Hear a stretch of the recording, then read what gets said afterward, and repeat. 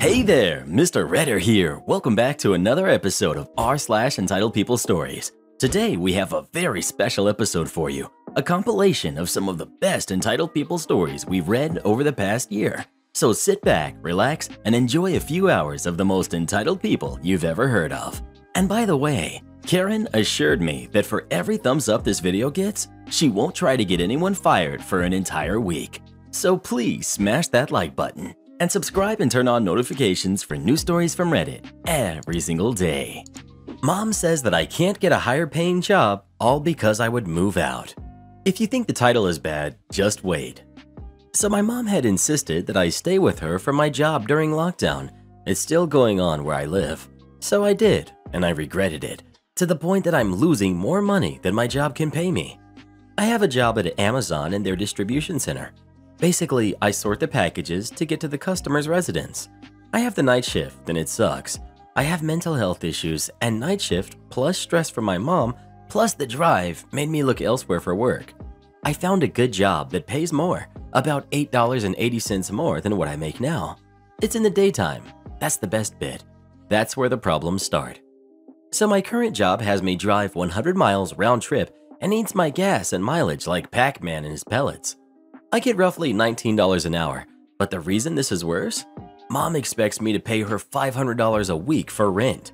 My paycheck is roughly $760. Take away $500, and I have $260 left.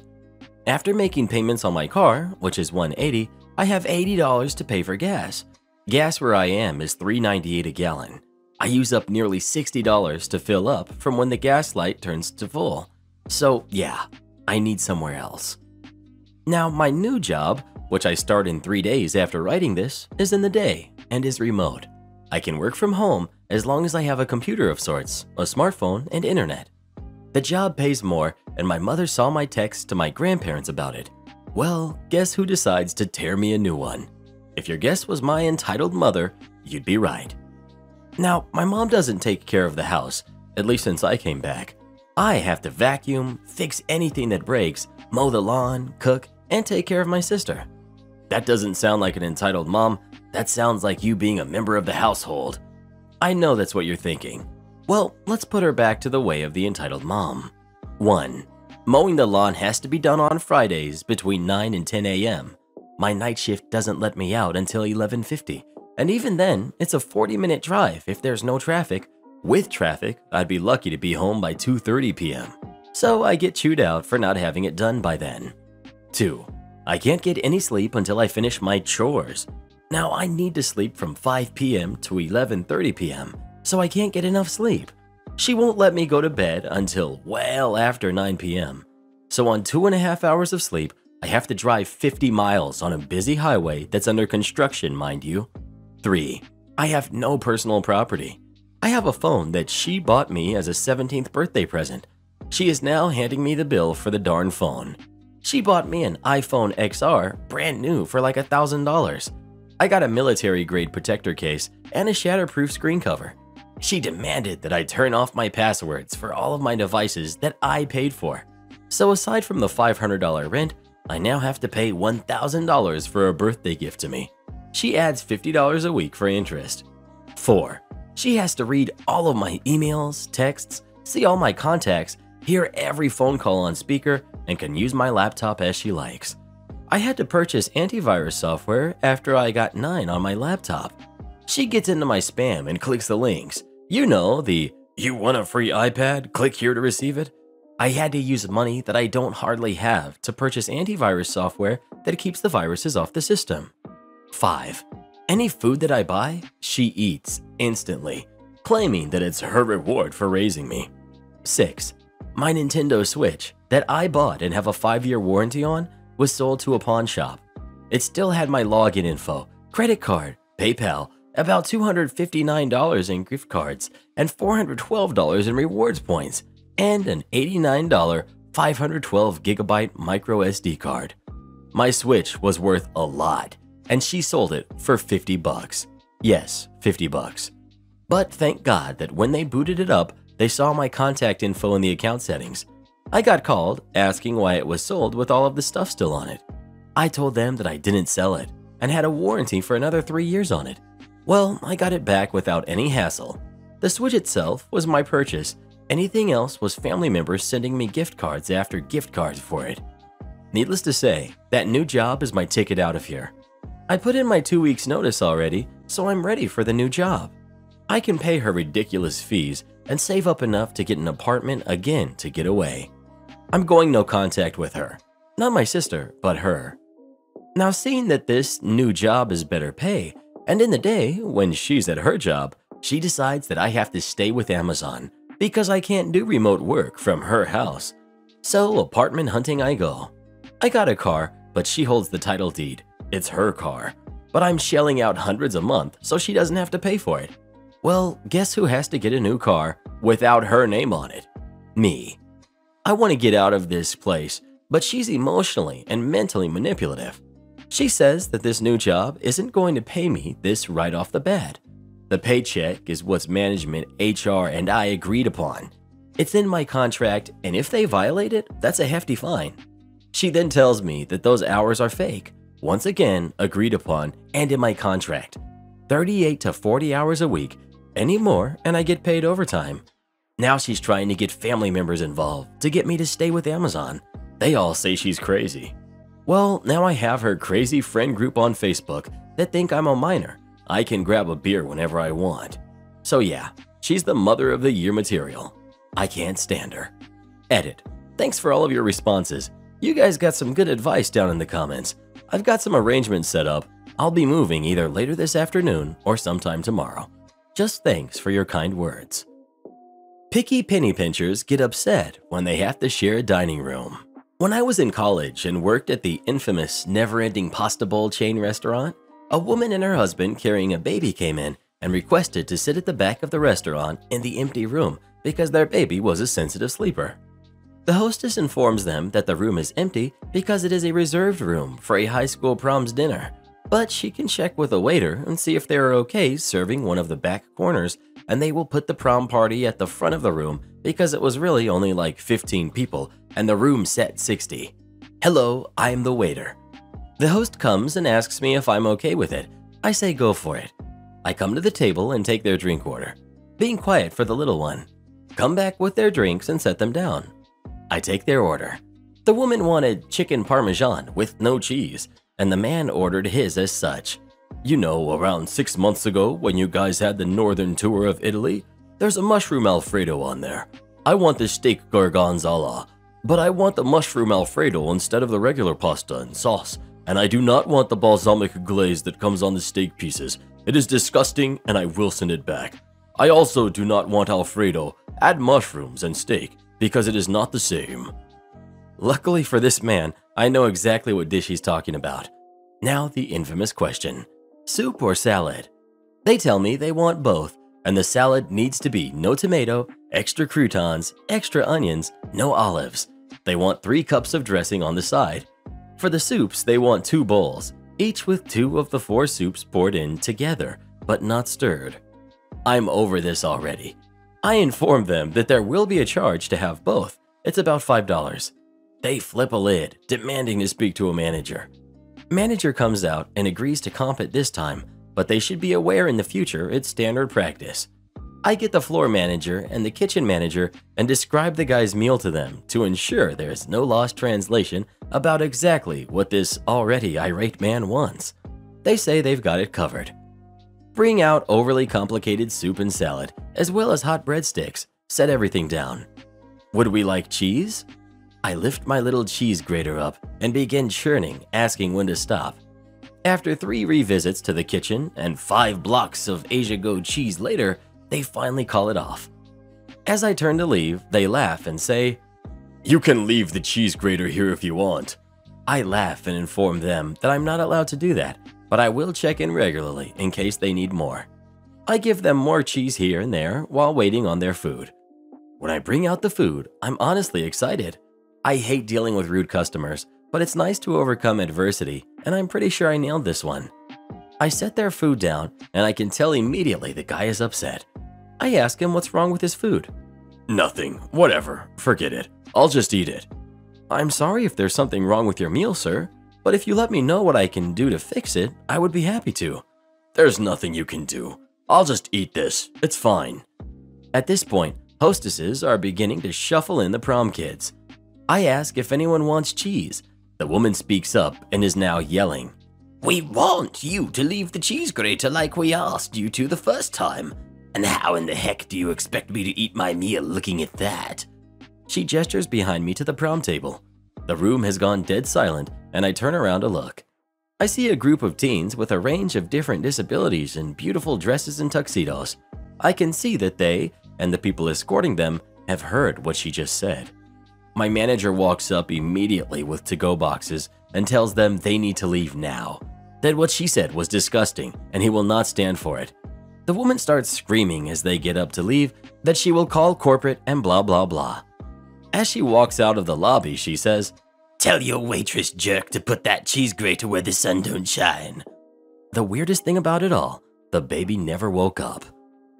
I got one company shut down and two more fined by the state of North Carolina. To get started, I, for the past four to five years, have been working as a state certified security for several companies. I tend to make it about a year before being completely done with the BS at one company before moving on to the next one. My story begins at my first security job ever.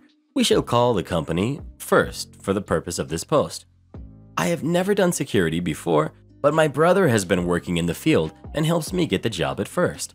North Carolina has laws that regulate this profession and require all field employees to go through state certification for unarmed security if working without a firearm, or both the unarmed and armed certifications if working with a firearm. This will be important later. I went through this training and passed my unarmed certification just fine. It is a pass slash fail system. And began my new job enforcing rules for low income apartment complexes. Oof. After about six months, I got a promotion, a whole 50 cent pay raise, and a lot of new responsibilities. These new responsibilities often required about 4 to 10 hours of paperwork, phone calls, and other manager duties that could not be done on site at the apartment complex per company regulation but could be done at home using Dropbox or other websites. After about 9 months, First decided they wanted to arm all managers and we went through the class and I passed again. Then after about a year, the other managers and I started realizing that we should be paid more, now 11.50 an hour, and hadn't been receiving most of our offsite 4 to 10 extra hours of work pay each week. We started conversations with the owner. Billy, not close to his name at all, he refused us extra pay and claimed he didn't pay us for the extra time because it wasn't approved by him first. I know this isn't r slash malicious compliance, but cue it anyway. We all started tracking our unpaid work, making sure to get every second of extra work approved, or most of the time not. Also, we only worked when approved. This caused First's paperwork to die a slow death from neglect. Then, after about three months of this, we all had found new jobs and quit on the same week leaving him with no managers. After my time at First, I now had a glowing review from my previous manager, who quit along with the rest of us, and a bit over a year of experience both as a regular guard and a manager. This allowed me to get a good job at a new company. We shall call this company Second. Second was much better than First. I was brought on as a regular guard with mentions of possible promotion after six months. Also, my pay was $12.50 an hour. I worked there for about a month and then informed them that my unarmed and armed certifications received at First World would be expiring within 60 days and I would need to recertify before it expired. This is very common in my field because the certifications only last one year before needing to be recertified. In return, I get vague promises of upcoming classes.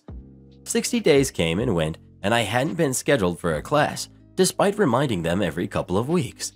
I would like to say that I stopped working when it expired, but I didn't. I needed the money, and they kept promising classes. After about three months of this, my old manager from First, the one that recommended me to Second, contacted me and told me that she was starting up a new company and asked if I would want to come on board. Due to a few minor problems with Second, as well as me violating both state and federal law working armed with an expired certification, I jumped at the opportunity. I put in my two weeks notice and informed the Second that I couldn't work for those two weeks due to the violations regarding my certificates. State law requires them to pay me during this time because it is 100% on the company to get me trained. My start at third, not the real name. During my two weeks' notice, I signed up with third and they put me through my required classes. After that, I started. Work was hard. We only had one contract, but that contract was 24 7, and there were only two of us. It would be me working for 12 hours from 6 a.m. to 6 p.m. every day, and my coworker working nights, then rinse and repeat. We did this for about two weeks until a few new employees came on board and evened out the hours. I worked there for about a year. During this year, Third had some bumps in the road financially speaking. Occasionally, I wouldn't be paid my entire dues, but it was always fixed with my next paycheck. So despite these rough patches, I kept on. The owners didn't know everything they needed to about running a business and were learning through trial and error. We had some awful Craigslist employees and almost lost our one contract on multiple occasions due to the awful employees. Despite these issues, we had a small, good core of employees. After a year of this, I was promoted, but strangely, my pay didn't go up. In hindsight, I should have been able to predict the future from this. I liked having the manager role officially, but unofficially, I had been doing all of the extra work since Third's inception, so no real changes to my duties. After all this, it happened. Cue the beginning of the end. The owners decided to not pay us for lunches. This seems small, but for me, this meant about five hours a week of pay loss. Keep in mind, we could not leave site for lunch and had to sit at the desk and answer the door every five minutes or so to perform searches of guests entering the building. I informed the owners that it violated federal law labor to do this, and most of the employees ate very quickly to minimize downtime anyway. What we were doing is defined as on call lunches. This means that we may be interrupted during our lunch at any time to do work related tasks. On call time has to be paid.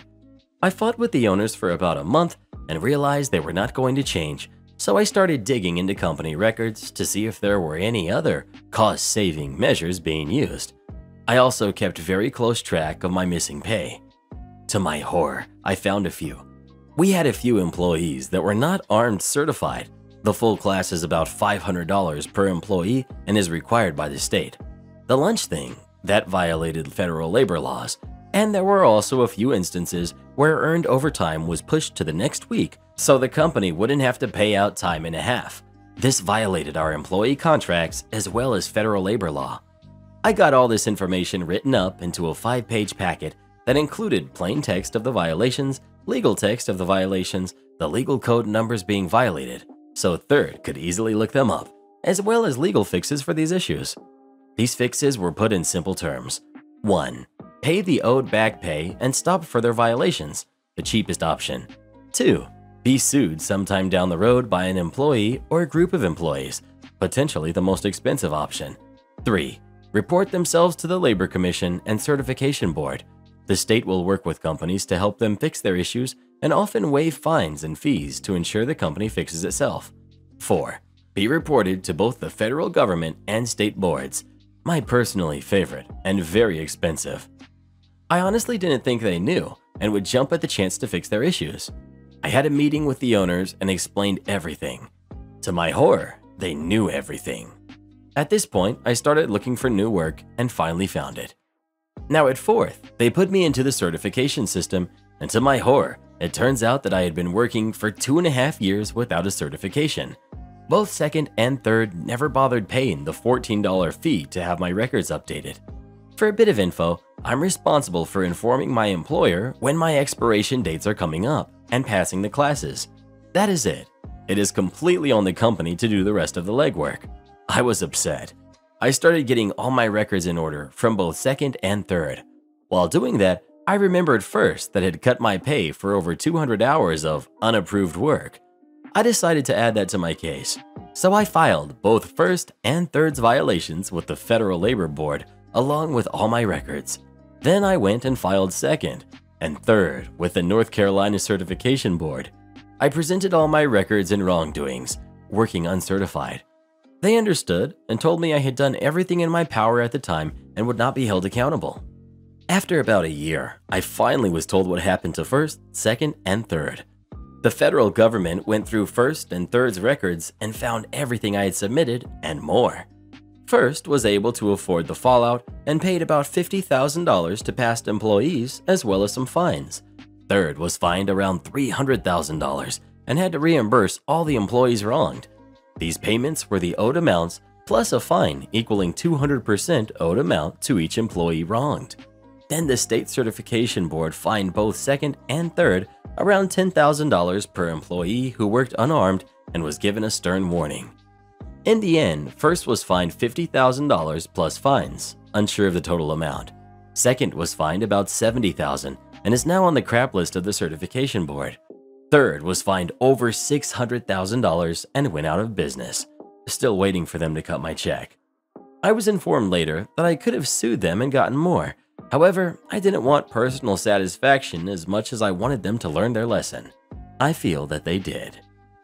Lady refuses to pay for products she damaged because she doesn't need it. A lady in her 30s came into my store today and asked if we had clear treat bags to put small candies in.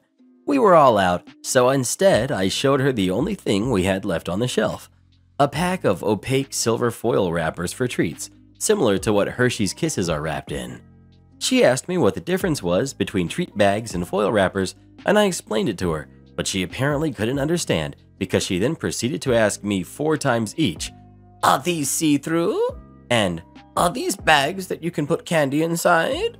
She was holding the package of wrappers in her hand, and the palm of her hand was not visible, so I honestly do not know how she was not understanding what the product was.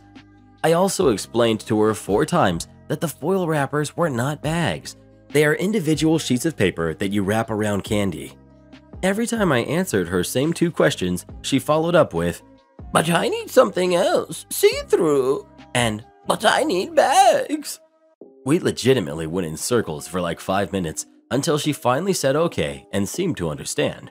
I went about my work. A few minutes later, I turned down the aisle to put something away and I saw her open the pack of wrappers and try wrapping something in one of them.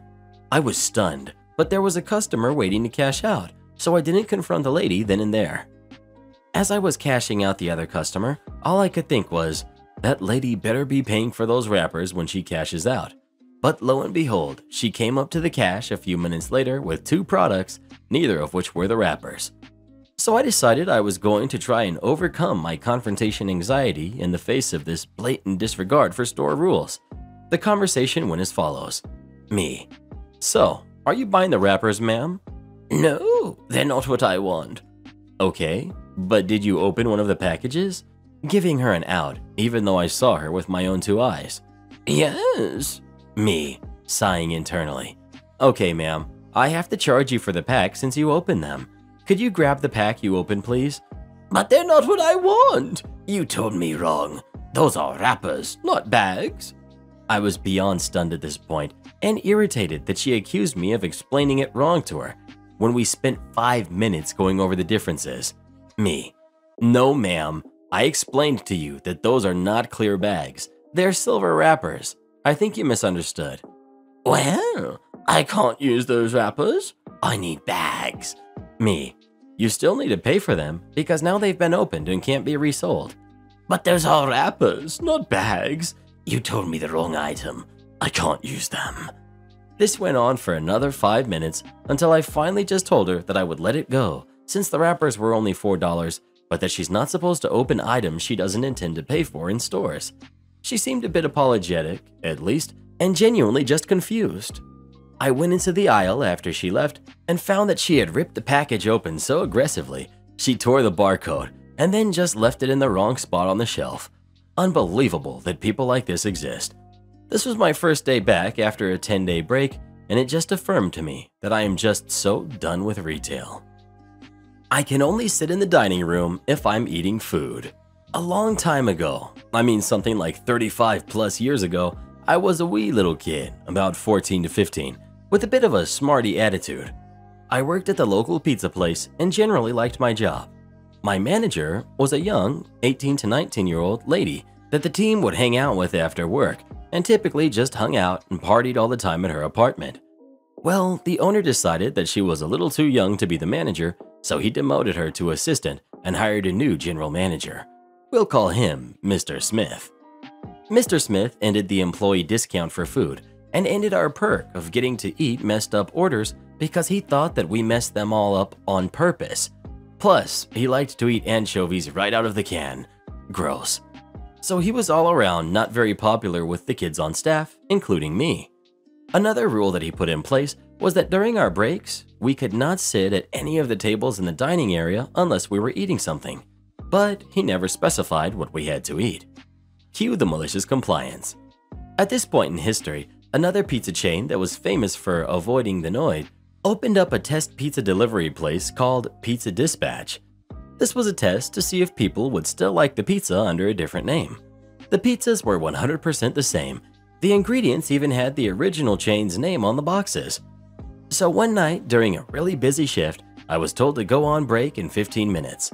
So I went to the payphone, we weren't allowed to use the store phones for unofficial business, and called up Pizza Dispatch. They took my order, didn't believe that I wanted it delivered to a different pizza place, but after I explained the situation, they were game. The guy probably didn't believe me still, but they delivered. They even expedited it for me. So 15 minutes go by. I go on break and I sit in the closet that we had for a break area until I hear Mr. Smith ask, What the heck are you doing in here? The delivery guy reached into his bag and said, I have a delivery for JC Macon. I stepped out and said, That's me under the blistering stare of Mr. Smith. I paid for the pizza, gave a very healthy tip for the speed, then went and sat down at a dining room table, opened my box with my pizza as Mr. Smith came up and tried to make me eat somewhere else.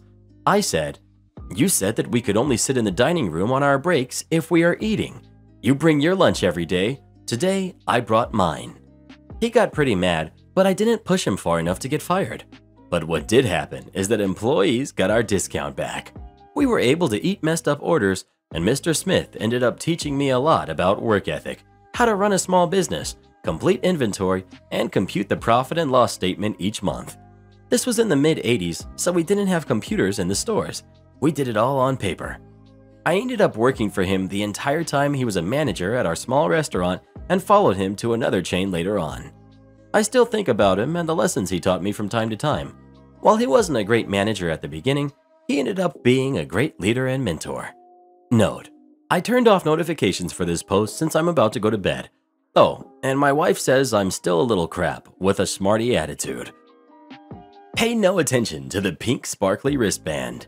This happened in 2015. I was managing the hotel packages for Aftershock as well as several other music festivals. In addition to working with the hotels to make sure everyone has a room with fluffy pillows, etc., the job involves distributing tickets, wristbands, swag, merch vouchers, etc. Also, lots of questions via text and email. Because I interface with the fans, my email and phone number were at the bottom of the festival website. In fact, my number was the only one listed on the site, and my email was one of only three listed. This often caused me grief because I got all sorts of crazy questions that had nothing to do with my job. Many of them had nothing to do with anything festival related at all. The cool thing about this job is that my work is always 80 to 95% done by the time the show starts, so I was free to enjoy the festival. This particular year, we went from lanyards to cloth wristbands for our credentials, which allowed us to go into production areas and backstage, etc. Fans got bands that said General Admission or VIP. Vendors got ones that said Vendor. Same for guests, media, production staff, etc. Well, they ran out of the nice cloth production wristbands, so they gave me a volunteer wristband. It was plastic, pink, and sparkly, and I didn't really care because it got me everywhere I needed or wanted to be just like anyone else working the show. Well, Sunday night comes and I'm hanging out with some friends who work the box office, and they asked if I was heading to production and would I mind taking this huge stack of tickets and merch vouchers back there. I agreed and stuffed about $250,000 worth of paper into my backpack and headed that way. Well, when the headliners go on, we pretty much look down the entrances to the backstage. If you're already in, you can stay. Production staff, artists, etc. are allowed in, but not the bearers of the pink sparkly volunteer wristbands. So I'm at the entrance to the backstage area, and the guard is like, You can't go in there. I'm trying to tell him that I'm working the show, and I absolutely have to get this stuff back to the production office. He's not having it because I'm obviously just a pink sparkly volunteer trying to get backstage to meet Slipknot or something. So I pull out my phone and I'm calling my coworkers, trying to get someone to meet me to pick up the tickets and stuff, but they aren't answering.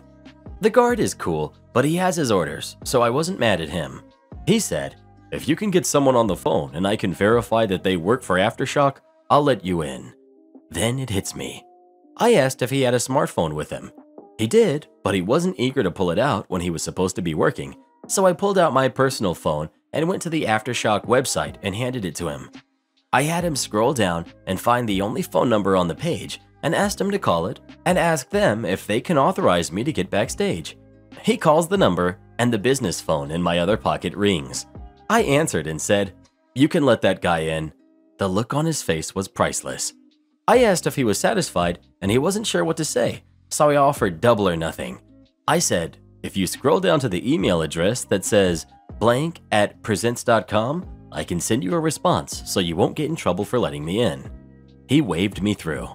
Later, I brought him a monster energy drink and some festival swag and thanked him for doing his job so well and being professional.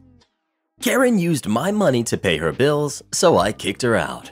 Earlier this year, I decided to move into a three bedroom apartment. I let a friend of a friend move in with a quick background check and job history. She seemed like a great person at first. We've lived together for five months now, and she doesn't clean up after herself and constantly eats our food. She hasn't cleaned since she moved in and has helped with groceries maybe six times. She also uses my products and my clothes. Well, I happened to check my account online and saw all the money except $4 was left. I called the bank and told them that there was a mistake. They said they will do an investigation and once they find everything out, blah blah blah, they will have it in my account but it will take 10 days from the starting date, and we don't know when that'll be. Well, that money was for bills and groceries. I have a nine year old kid, and I can't not feed my kid. So when roommate got home, she had shopping bags. I told her what happened today and told her the police are also in on it since it was over $1,000 and I couldn't let that slide. She gets antsy and before long is asking how long before they know who it is, and I said not long. Not an hour goes by, and she comes in crying with my card in hand and says how terribly sorry she is. But she needed things, and I had the money before she did, and how she was going to pay me back. I told her I was reporting her and was evicting her and to expect a notice to come. She called me cruel and heartless, but she stole from me and my kid to where we don't have any groceries left as she loves to eat our things and not replace them. Am I the jerk for kicking her out, or was I too harsh? Edit. One of you suggested to look for other valuable things missing, and I'll be darned if my late grandmother's ring is gone. Now I'm calling the police. I mean, I already was before this, but the one ring she knows not to touch is gone. That ring is worth over $20,000 alone. I don't know if she knows, but I never told her the value of it. This infuriates me. First, you eat my food, take my clothes and my money, and then you take something worth more to me than money. Is she stupid? She knew that is a definite rule breaker and no going back. I'm calling them now. I'm stressing so bad. Edit. I don't have an update yet. Some things have been said and caught among others, but I figured I would let you all know how I cried knowing this many people cared, and I thank you all so much. I will update you all as soon as I'm able to, and shouldn't be but a couple of days. Thank you all again, and please hang tight. I saw my notifications and got scared for a second, and I'm sorry to the ones I haven't gotten to. Have a good night. Well, what do you think? Is OP overreacting or not? Please let us know. I'd be doing a lot more to that thief than calling the police, but I'm petty like that. I just thought the food was crappy. Just got back from a hot mess disguised as a blind date and wanted to get the details down. It might be a little long, but there's some backstory that's relevant. My fiance, whom I was in a relationship for 10 years with, passed in a car wreck three years ago. The driver of the car was drunk, no, I have no desire to talk about it. When I was a teenager, I got a job working at a movie theater. My last night working there, a plumbing emergency occurred and raw sewage was backing up into the bathrooms and kitchen. I was issued a mop and told to get to cleaning. The kitchen continued to serve food while there was sewage floating on the floor. Yes, the health department was called and there was a legal kerfuffle. I won't eat food at that theater. The cast. We've got Daphne, a friend of my fiance's that I've stayed in contact with, Fred, Daphne's boyfriend with whom I have a much better friendship, Velma, a militant vegetarian, Shaggy, yours truly, Scooby Doo, my long lasting best friend and beloved Floof, and the Mystery Machine, my new car. Daphne called me on Wednesday and informed me that she's upset with the state of my social affairs and a girl she knows from work would love to meet me. I sort of sigh because Daphne's the type of person who thinks the word no is a negotiation tactic and just requires finesse. She can be exhausting. Make no mistake, she means well, but what Daphne wants, Daphne gets. I ask when and where and what the dress code was. I'm informed that it's a date and I should try to avoid looking homeless, and the movie is an afternoon show, followed by dinner because Fred's got night shift. Myself, Daphne, and Velma all work from home. We make goodbye noises, and I immediately text Fred for pertinent details because Daphne will gloss over anything that she feels could be problematic. Fred informs me that this chick is super hot and nice and smart, and she's also a vegetarian. This raises an eyebrow because that's not something I really would find problematic. When pressed, Fred admits that Velma may give me crap if I order a steak. Fantastic. Well, I'll pretend I'm not a carnivore for one evening and then we can all live happily ever after. I get myself prepared for interactions with other humans, which was a non-trivial process. Hashtag quarantine life. And it's only on Thursday night I realize something important has been forgotten. I text Daphne and make sure she remembered to ask Velma to not wear perfume, or at least not much of it. This is not because I'm opposed to girls smelling pretty, it's because I'm allergic to certain perfumes and colognes. It's not a lethal allergy, but it does make me decidedly uncomfortable. She breezily assures me Velma knows and gushes about how excited she is to ride in the mystery machine and see me again after so long. The day in question arrives, and I assure Scooby I'll be back soon, and I set off to pick up Fred and Daphne. They come down upon being summoned. Fred jumps in the back and Daphne in the front so she can direct me to Velma's place. We pull up outside Velma's apartment building, and Daphne texts Velma and moves to sit in the back with Fred. So we wait, and I start showing off some of the cool stuff my car can do. After about 10 minutes of waiting and showing, my inner 12 year old seizes control and I start doing the whoopee cushion thing my car can do. It allows you to make sounds come out of different parts of the car. Myself and Fred are losing it, cracking up, and Daphne is trying to look stern, but her dimples are showing and she's about to crack. Enter Velma. She throws open the door and sternly asks what the heck is wrong with all of us. Are we in kindergarten? Well, all sounds of merriment stop, and we all immediately look like chasing school kids. Awkward silence is rather awkward, but there's really no avenue of conversation available when you introduce yourself by berating everyone. After that stellar start, Daphne starts trying to fill the void and get the conversation going, and eventually everyone sort of loosens up. But it was just the harbinger of things to come. We get to the theater, and Fred and Daphne order their tickets. I'm next and order mine, and before I can pay, I feel indignant eyes boring into the back of my skull. And when I look, Velma's giving me a look which clearly communicates I'm apparently buying hers as well. So I do. We make it inside the theater, and Daphne, Fred, and Velma make for the concession stand while I go nowhere near because I will be darned if I'm going to pay $10 for a medium drink and a medium soda I have zero interest in consuming. We take our seats after concessions are bought, and Velma asks me why I didn't get anything to tide me over until dinner. I mention that the food here is not that good, and she asks point blank how you can mess up popcorn and soda. I've got zero interest in maintaining a relationship with this woman, so I share my story about sewage in the kitchen. If I'd cared, it would have been about the outrageous cost. Both girls turn an interesting shade of green as they were industriously munching on popcorn before I started the story. I assured them that I used the bathroom and saw no sewage. They were likely fine. Fred laughed when he was suddenly gifted two half-eaten popcorns, which he demolished. The Bond movie plays, everyone liked the movie, and it was off to the Italian restaurant for dinner. We make it to the restaurant and get seated immediately and are issued a basket of the excellent breadsticks this place is known for. Velma excuses herself to the bathroom, and Daphne, Fred, and I are discussing the movie and what we want to eat. When Velma comes back, she can be smelled before she is seen, and sits back down at the table, smelling like she'd just been dunked in a vat of perfume. My eyes immediately redden. I can feel a migraine start brewing, and I fight the urge to cough because allergies. Our waitress stops by and introduces herself and asks if she can get us some drinks. Fred orders a beer, Daphne orders a cocktail, Velma orders a cocktail, and I order myself some delicious apple juice off the kids' menu. The stuff is delicious and blends in better with the boozy drinks than a soda would. Velma is made curious by my selection and asks me if I drink. I assure her that I do socially, but not when I'm driving. She makes a pff sound and dismisses that with an airy wave of her hand, and blithely informs me that I shouldn't worry so much. She drives all the time with a few drinks in her. I assure her I'm quite content with my apple juice and start counting in my head because there's no way this girl could know. Daphne frantically inserts herself into the conversation, and the conversation is guided away from sensitive subjects, and everyone starts to relax. Waitress returns with drinks and begins taking everyone's orders. This restaurant helpfully labels different entrees with an S for people with different dietary needs.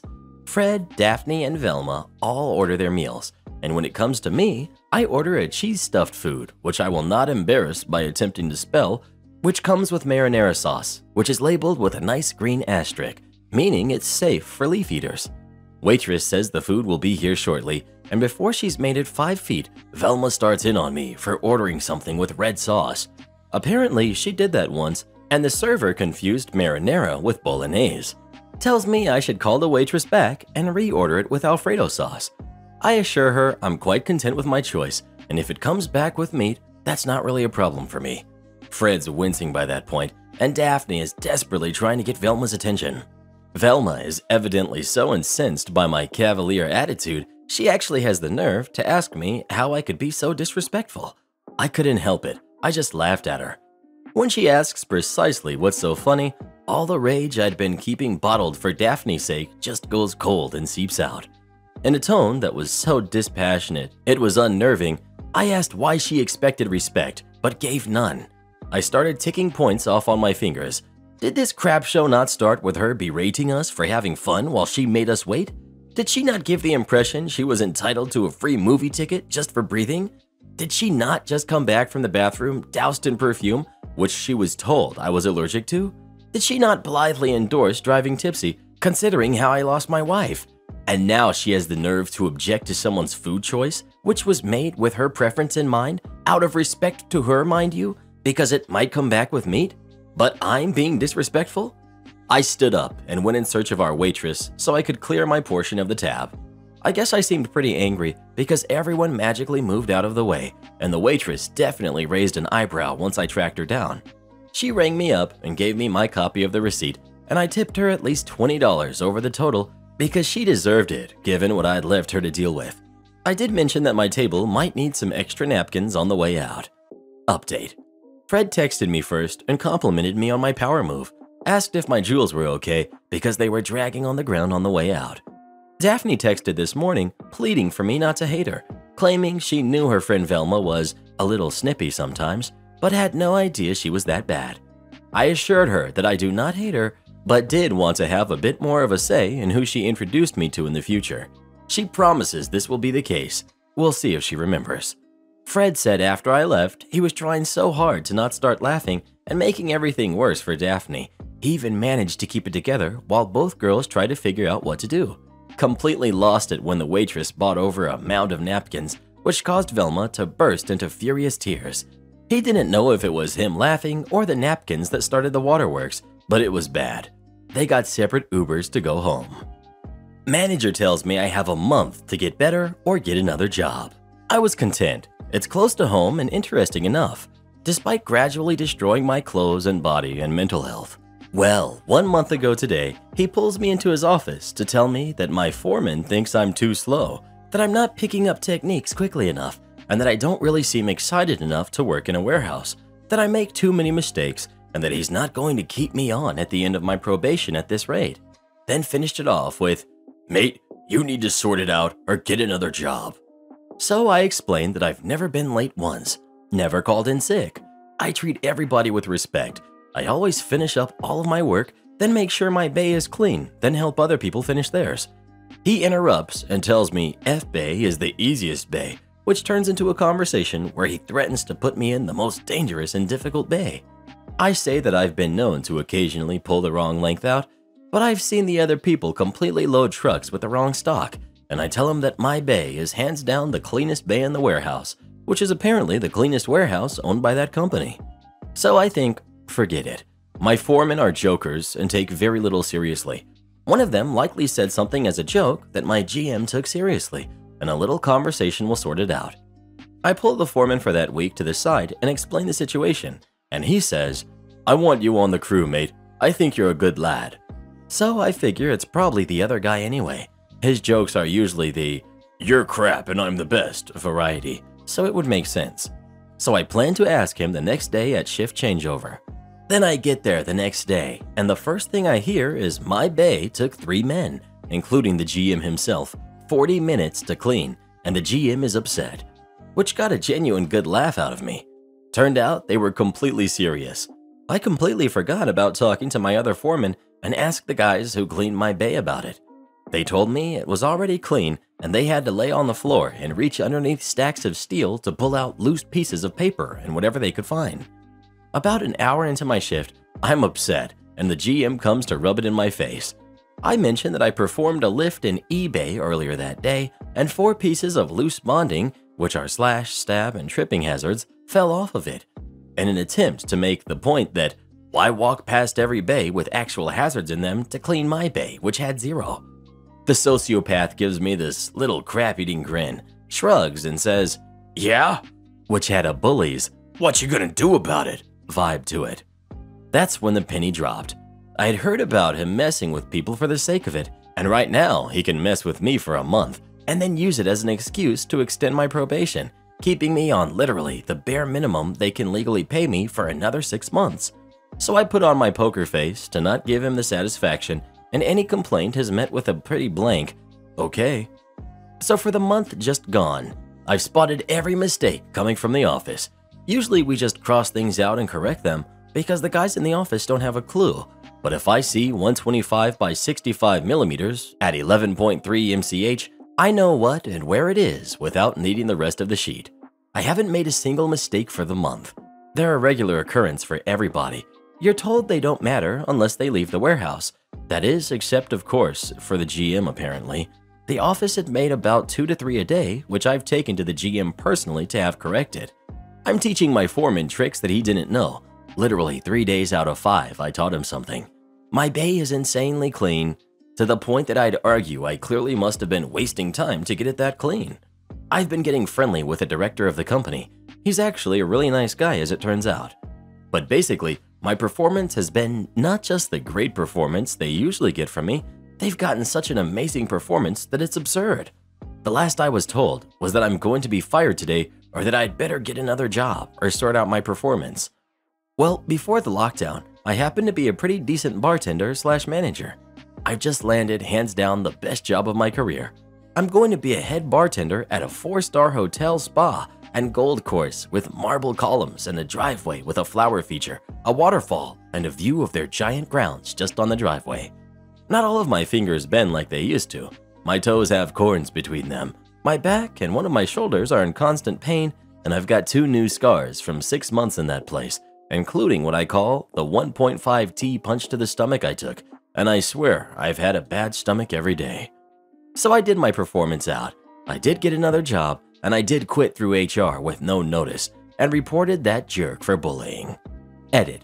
To those saying this wasn't malicious compliance, he didn't want or expect me to actually leave. His plan was to mess with me for a month and tell me every way that I suck at the job personally every time he got an excuse. Then at the end of my probation, expected me to beg and thank him for continuing my probation and by extension denying me a raise. I wasn't doing my job well because I was told to. I was doing my job well to take away any ammo he could possibly have had to mess with me and gave him no excuse to. Then at the last minute with no notice, this wasn't explained in the post to be fair, but also two men down. I left with no notice. He told me to improve or find another job. I did both and both times denied the sociopath the satisfaction of berating me, then left with him knowing that not only did he not get his way, he actually pushed me into improving my life in a way that makes his life harder, by doing exactly what he asked. Edit 3. For the person who wanted more about me quitting. It wasn't very exciting. The GM isn't there at the end of my shift. I cleaned out my locker at the end of my shift on Friday, handed my foreman my key and clock and fob, and told him I've got a better job. He wished me luck, and I left. Closest thing to exciting things that happened were the day I answered my phone on the shop floor because I didn't give a hoot. That got me a few looks, since most people hide to answer their phone, but I was just casually standing by my desk. Also, the other day, somebody left for lunch five minutes early, and the foreman was doing out a group punishment for everybody. I go to walk past him at the usual time. He says, slow down. Me, want a hand? Foreman, no, just slow down. Me, I'm standing still now. I can't get any slower than this. Do you need help with something? Foreman, just wait there a minute. Context, that's just how people talk to each other in a warehouse. He's a jerk for the whole collective punishment thing, but the way we speak to each other is, if anything, affectionate in a weird, toxic way. Then I just walked off. I actually needed a bathroom break, which he can't stop me from doing. With walking the length of the warehouse, my bay was the furthest, the conversation with him, and going to the bathroom, the five minutes were up. He was standing outside the door to the bathroom when I walked out, looking upset. I just look at my watch, raise my eyebrows a little as though I'm surprised at the time, and walk to get my headphones from the locker. He's not daft, though if anyone told him I said that, I'd deny it. And he knows that when he's being a jerk, I'm likely to mess with him for it. He had nothing to say, but he really wanted to. He gave me the cold shoulder for about an hour before Dancing Queen came on the radio and we were singing it like idiots. He did also make me sheet every truck for the rest of the shift, which in fairness, I kind of deserved. There was one coworker I told I got the job, and we had a big high five before I went back to my bay. Apparently, the foreman asked him what the heck that was about, and he said, I don't know. Mowgli 1992 just high fived me and walked off, and the foreman didn't even question it, which I thought was hilarious. A Karen and a loud comeuppance. So I've always been a very self-confident type of person, but also easygoing and always doing my best to be decent to people. I was just brought up that way. I also expect it from others and have absolutely zero patience for people who think it's okay to act out or be blatantly rude. One afternoon, I was at a Wally World trying to do some shopping. I hadn't thought much about it, but I happened to be wearing the store's colors a dark blue button up shirt neat jeans, and nice work shoes. I'm a trucker and was wearing a shirt for my company. I just like to dress nice and look respectable and dress like this all the time. At any rate, I then hear it a Karen in the wild. A forceful clearing of the throat. Ahem, excuse me. I turn to look, and I kid you not. I wouldn't have believed anyone could look like the stereotype, but there she stood. Business attire and shoulder length, straight platinum blonde hair, a huge, the world bows to my whims attitude. She gazed at me sternly, her eyes steely, her demeanor as if she were about to berate a servant who had erred. I stared, silent for a moment, gathering back a swell of irritation at just seeing the attitude this lady had, then just simply blurted, What? She jerked back, incredulous, as though I had just attacked. But she was also quick to recover, her look of steely eyed, and now very justified outrage staring out at me from within her perfectly straight platinum blonde locks. Employees should not speak to customers in such a fashion, she informed me. Yep, she used those exact words and did inform me, as though I had done something very wrong by addressing such an important customer in such an impertinent manner. My brow just went up. That was all. But I said in a very level tone, I don't work here. Then I turned away from her, just intent on going back to my shopping. You do not turn away from me, she seethed from behind me, then went so far as to grab the back of my suspenders. I very calmly turned back around, looked down at her for a second. I'm six foot, and she was like five foot and a half or something. Then I leaned down very close to her face. This was long before lockdown, and I began in a very low voice. I said, then raising my voice to its loudest by the word finished with, I do not work here. By the time I was out with here, I was so loud I could have been heard all the way through this superstore. I even think I blew her hair back a little. The look in her face was wonderful. Ah, ah, I'm sorry, she stammered. I thought you were. I cut her off. Thought I was employee. Yes. I was still dead in her face, my eyes now ten times harder than hers could ever be. Which you thought gave you the right to speak to me and treat me as though I was beneath you. I leaned in even closer. She stood, spellbound, a viper and mouse. She the mouse, me the viper. Well, I got news for you, lady. Buying stuff from a store and spending a little money does not grant you license to belittle people. at which point I straightened and then did turn on my heel and walked away from her. While she stood there, gaping like a fish out of water, absolutely speechless. It was delightfully wonderful. Don't want to fix my IT issue? Well, I think it's time for a new CTO. I just want to state that this IT issue is going to blow some people's minds. The security flaw that this presented was nothing short of incredible, and the fact that we never had a major security breach is astounding. It truly is. The flaw, you may ask? Everyone in the entire company's password was the same password. Yes, folks, you read that right.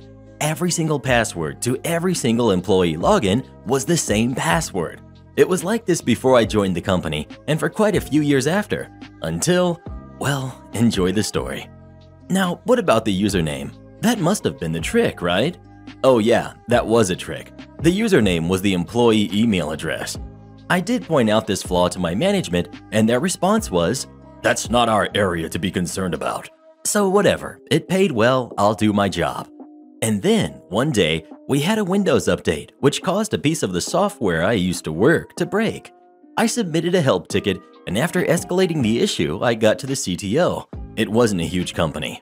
The CTO said, I don't want to spend the time fixing this. Use this workaround.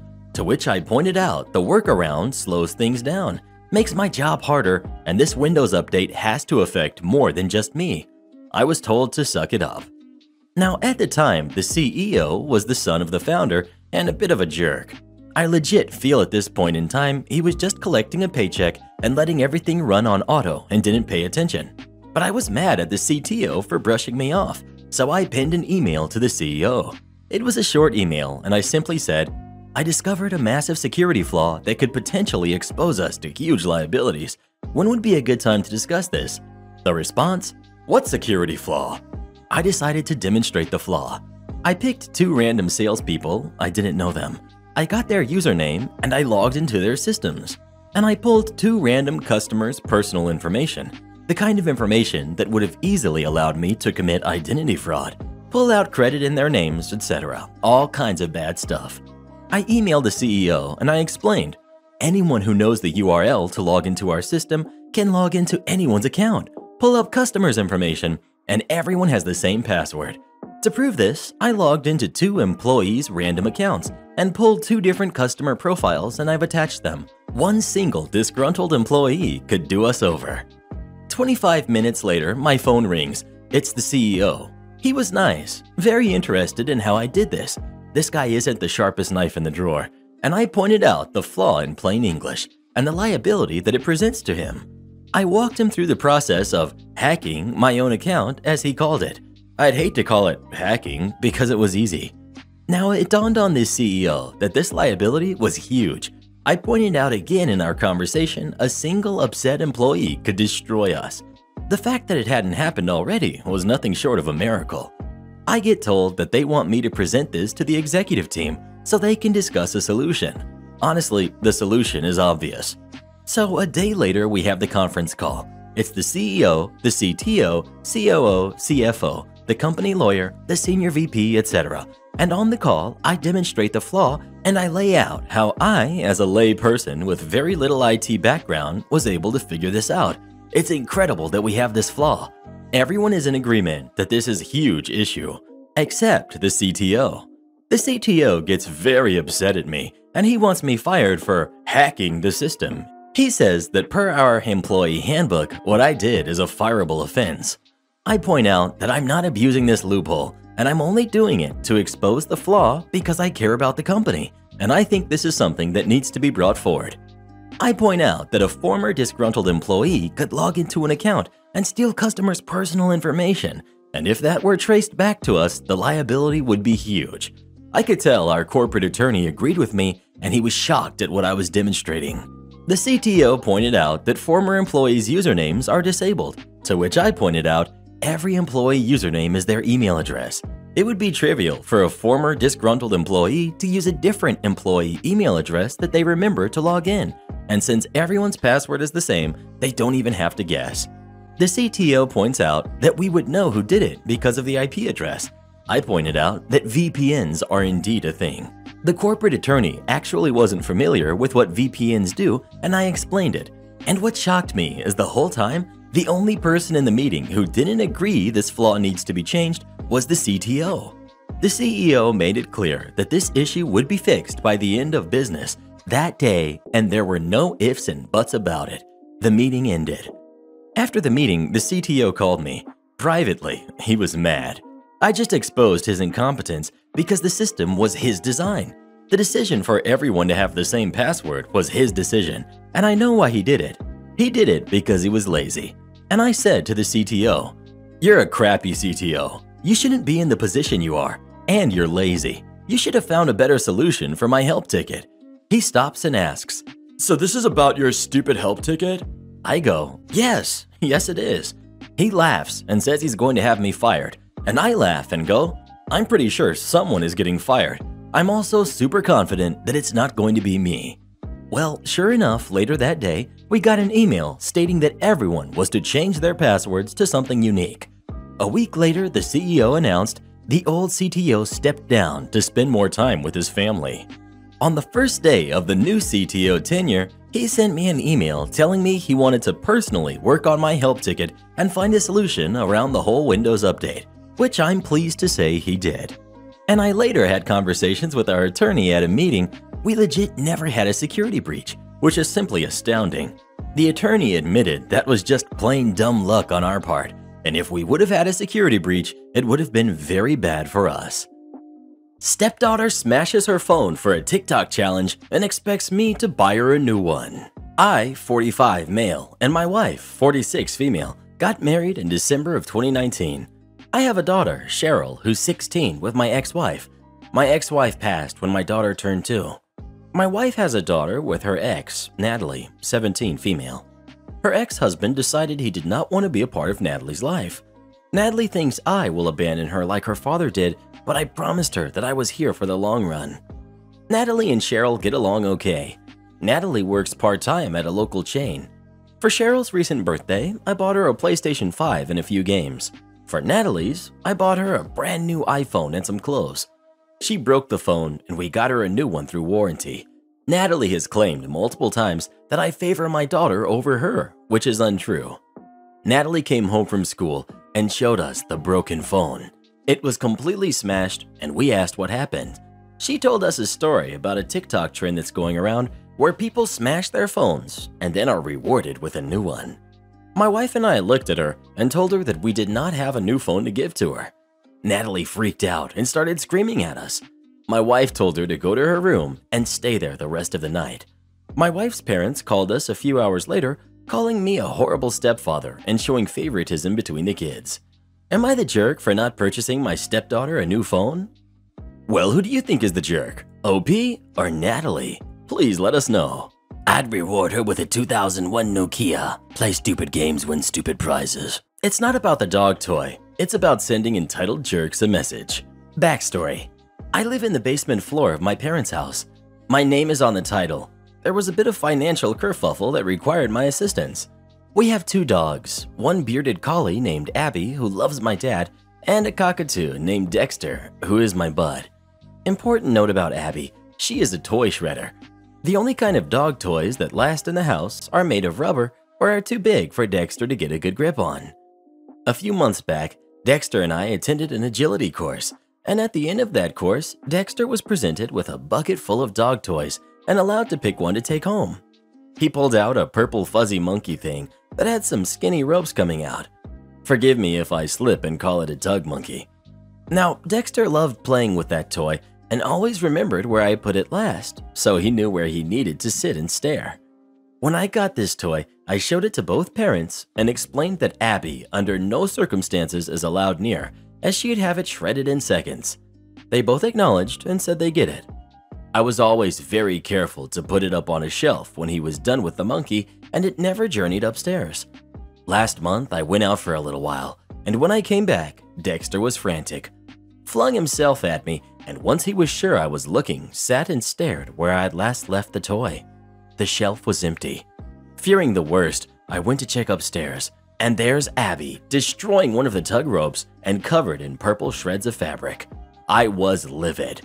When questioned, my mother admitted to giving Dexter the toy and she just forgot the door between halves of the house was open.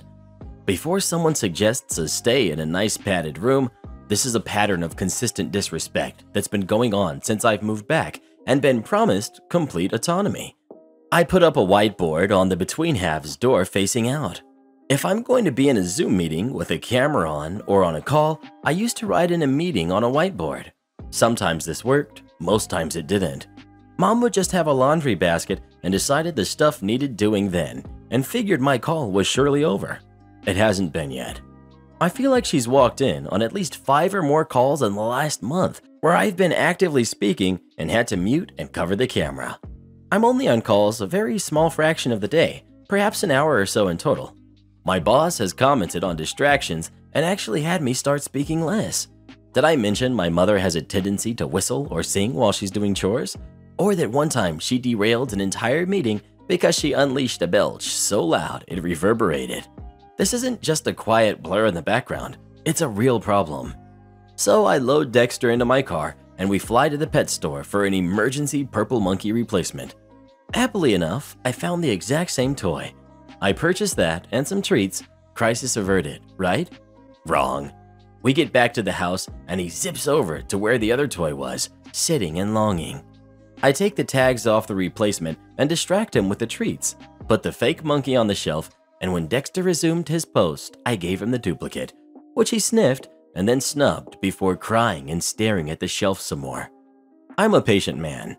The BS threshold I have with my parents is set pretty high, but seeing that, my heart broke. There was an Arthur fist. I vowed revenge. I went to the hardware store and ordered a steel interior door, the same keypad lock we already have for exterior doors, and some security door hinges. I then had to return the first door and measure first before ordering the correct size. For the next three Sundays, my cousins helped me out with getting everything assembled and adjusted while my parents went to church. The fourth Sunday was spent with a soldering iron lobotomizing the digital code lock so it rejected every code entered. Yesterday, we did the door swap and managed to get everything done and cleaned. When my parents left for church, flimsy particle board door was all that stood between my half and theirs, when they returned, steel door with wood facade, code lock, and tamper-proof hinges. Also wound up changing the code for my exterior door. There was wailing and lamentations and gnashing of teeth. How could you? What about laundry? All this for a dog toy? I calmly explained that the door won't stay closed, but when it is closed, it's staying closed. My name is on the deed of the house now. I can make modifications to my space if I want to. My mother wanted to know, what about an emergency? I told her I'd give her the code right now to the new door if she could tell me one situation where minutes mattered. There was hemming and hawing and no actual laundry emergency cited. Why did I spend more than $150 on a door lock only to immediately break it? Because it's got a working deadbolt, which is all I need, and my mother spent three hours yesterday trying to brute force the code lock. Why did I spend more than $1,000 on a deadbolt and a door that will sneer at a battering ram? Two reasons. The first being I was mad and wasn't sure anything less would do the trick. And second is because my sister lurks this subreddit religiously and will likely spread this to the rest of my extended family. Hi everyone. It's in the Constitution. A man, we'll call Jerk, came up to my ice cream stall today. I'm the manager at a mall food court location. I greeted Jerk, and he gave me his order pleasantly enough. I give him his total, and he proceeds to try and hand me a $100 bill. We have an in-store policy that we do not take $100 bills, so I just say, I can't break 100, which on a normal day with a normal person pretty much handles that. He stares at me at first. Then, What do you mean? This is a legal American note. Me, I understand, and I'm sorry, but it's our policy. Well, that's all I have, so you have to take it. Me. I'm sorry, I can't take it. This is legal tender. It's in the Constitution that I can use this here. This basically crosses the line for me. I tell him now he's made the situation uncomfortable and I simply can't serve you. He asks for my name, which I stupidly give since I'm directly under the owner, and ultimately am upholding her policy. He then straight up calls me a jerk and walks away. I'm shaking at this, but think it's over with. I continue taking the people in line, so I don't even have to think about it. Jerk comes back up not 10 minutes later with his wife, Karen, in tow. She's already charged up and ready to yell.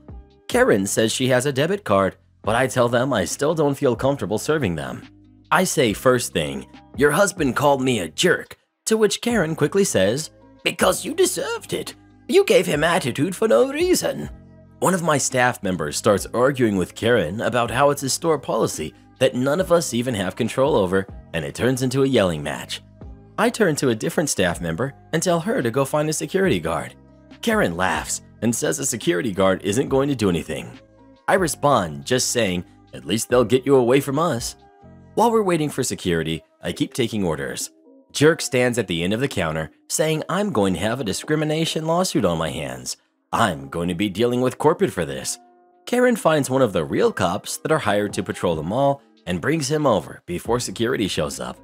I'm still cheerfully, admittedly literally shaking, taking people getting in line while they talk to the cop. Eventually the cop comes up and says Jerk has admitted that he was in the wrong for the most part and don't you think we can come to a resolution here?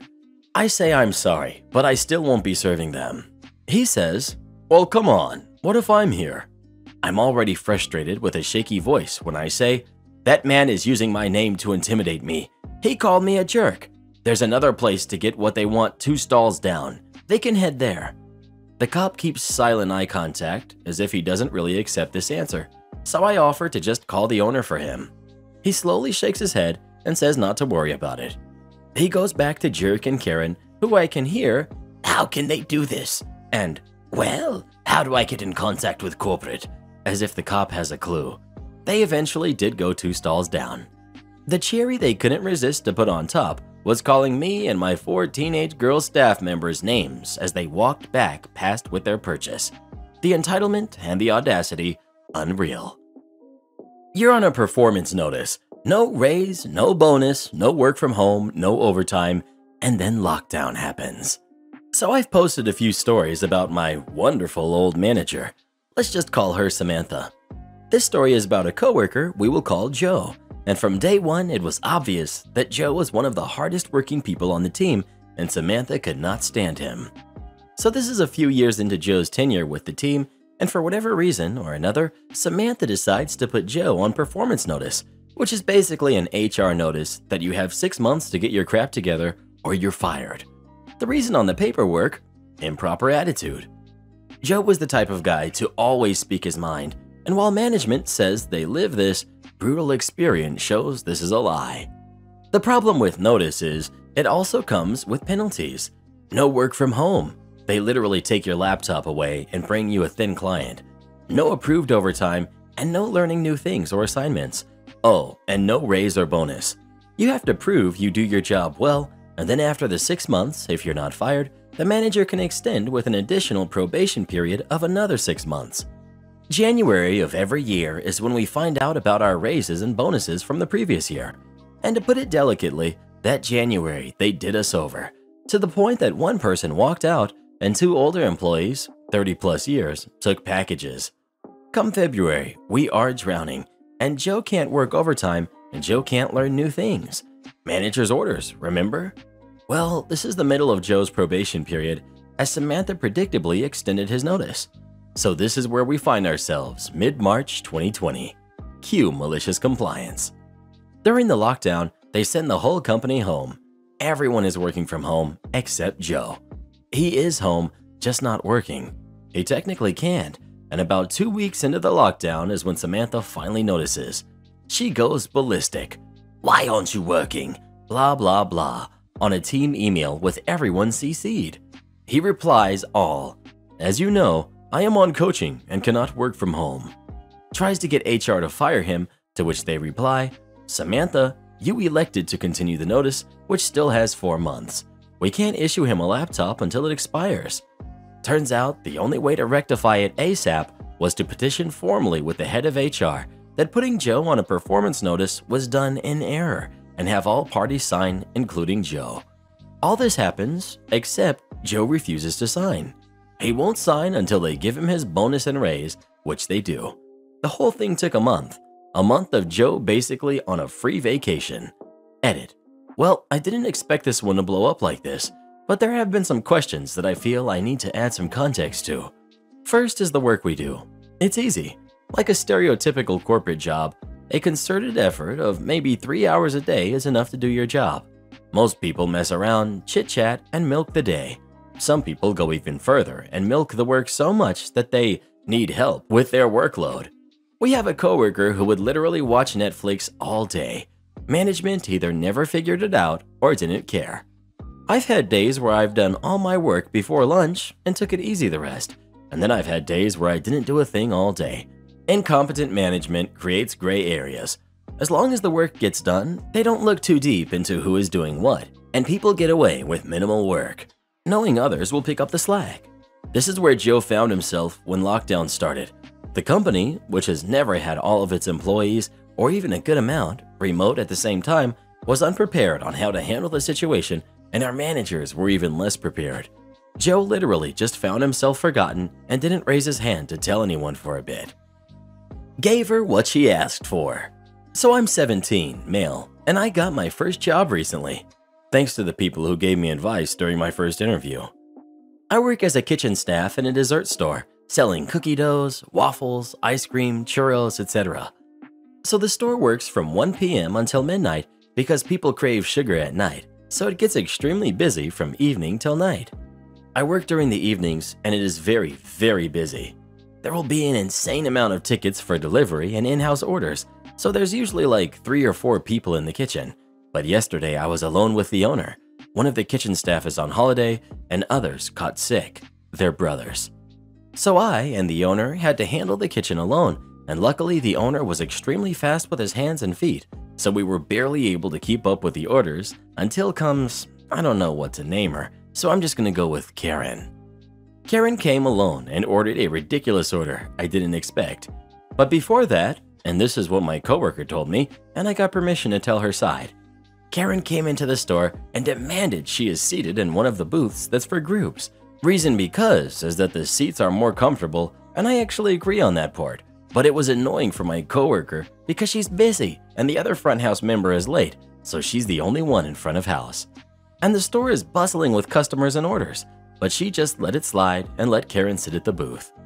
Throughout the service, Karen kept annoying my coworker with stupid questions like, Does the strawberry waffle have strawberry? Or, What chocolate does the Nutella waffle have? etc.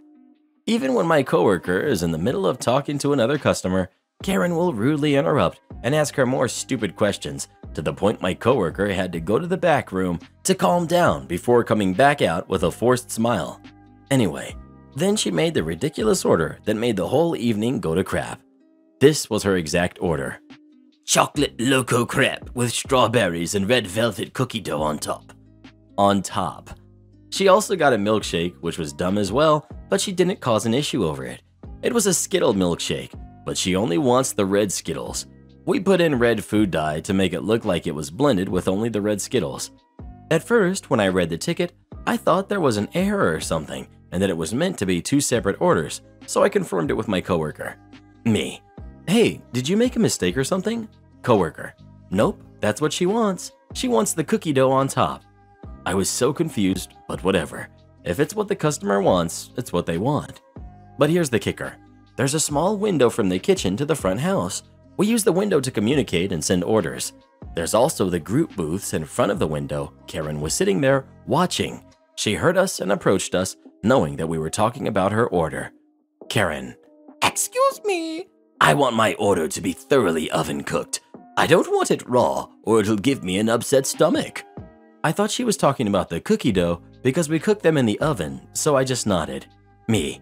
No problem. I'll make sure the cookie dough is thoroughly cooked, ma'am. Karen. Uh, and the crepe? Me. Oh, yes, it'll be cooked as well.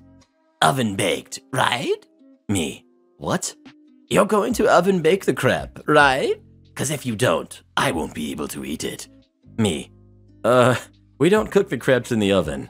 Well, I want it oven baked.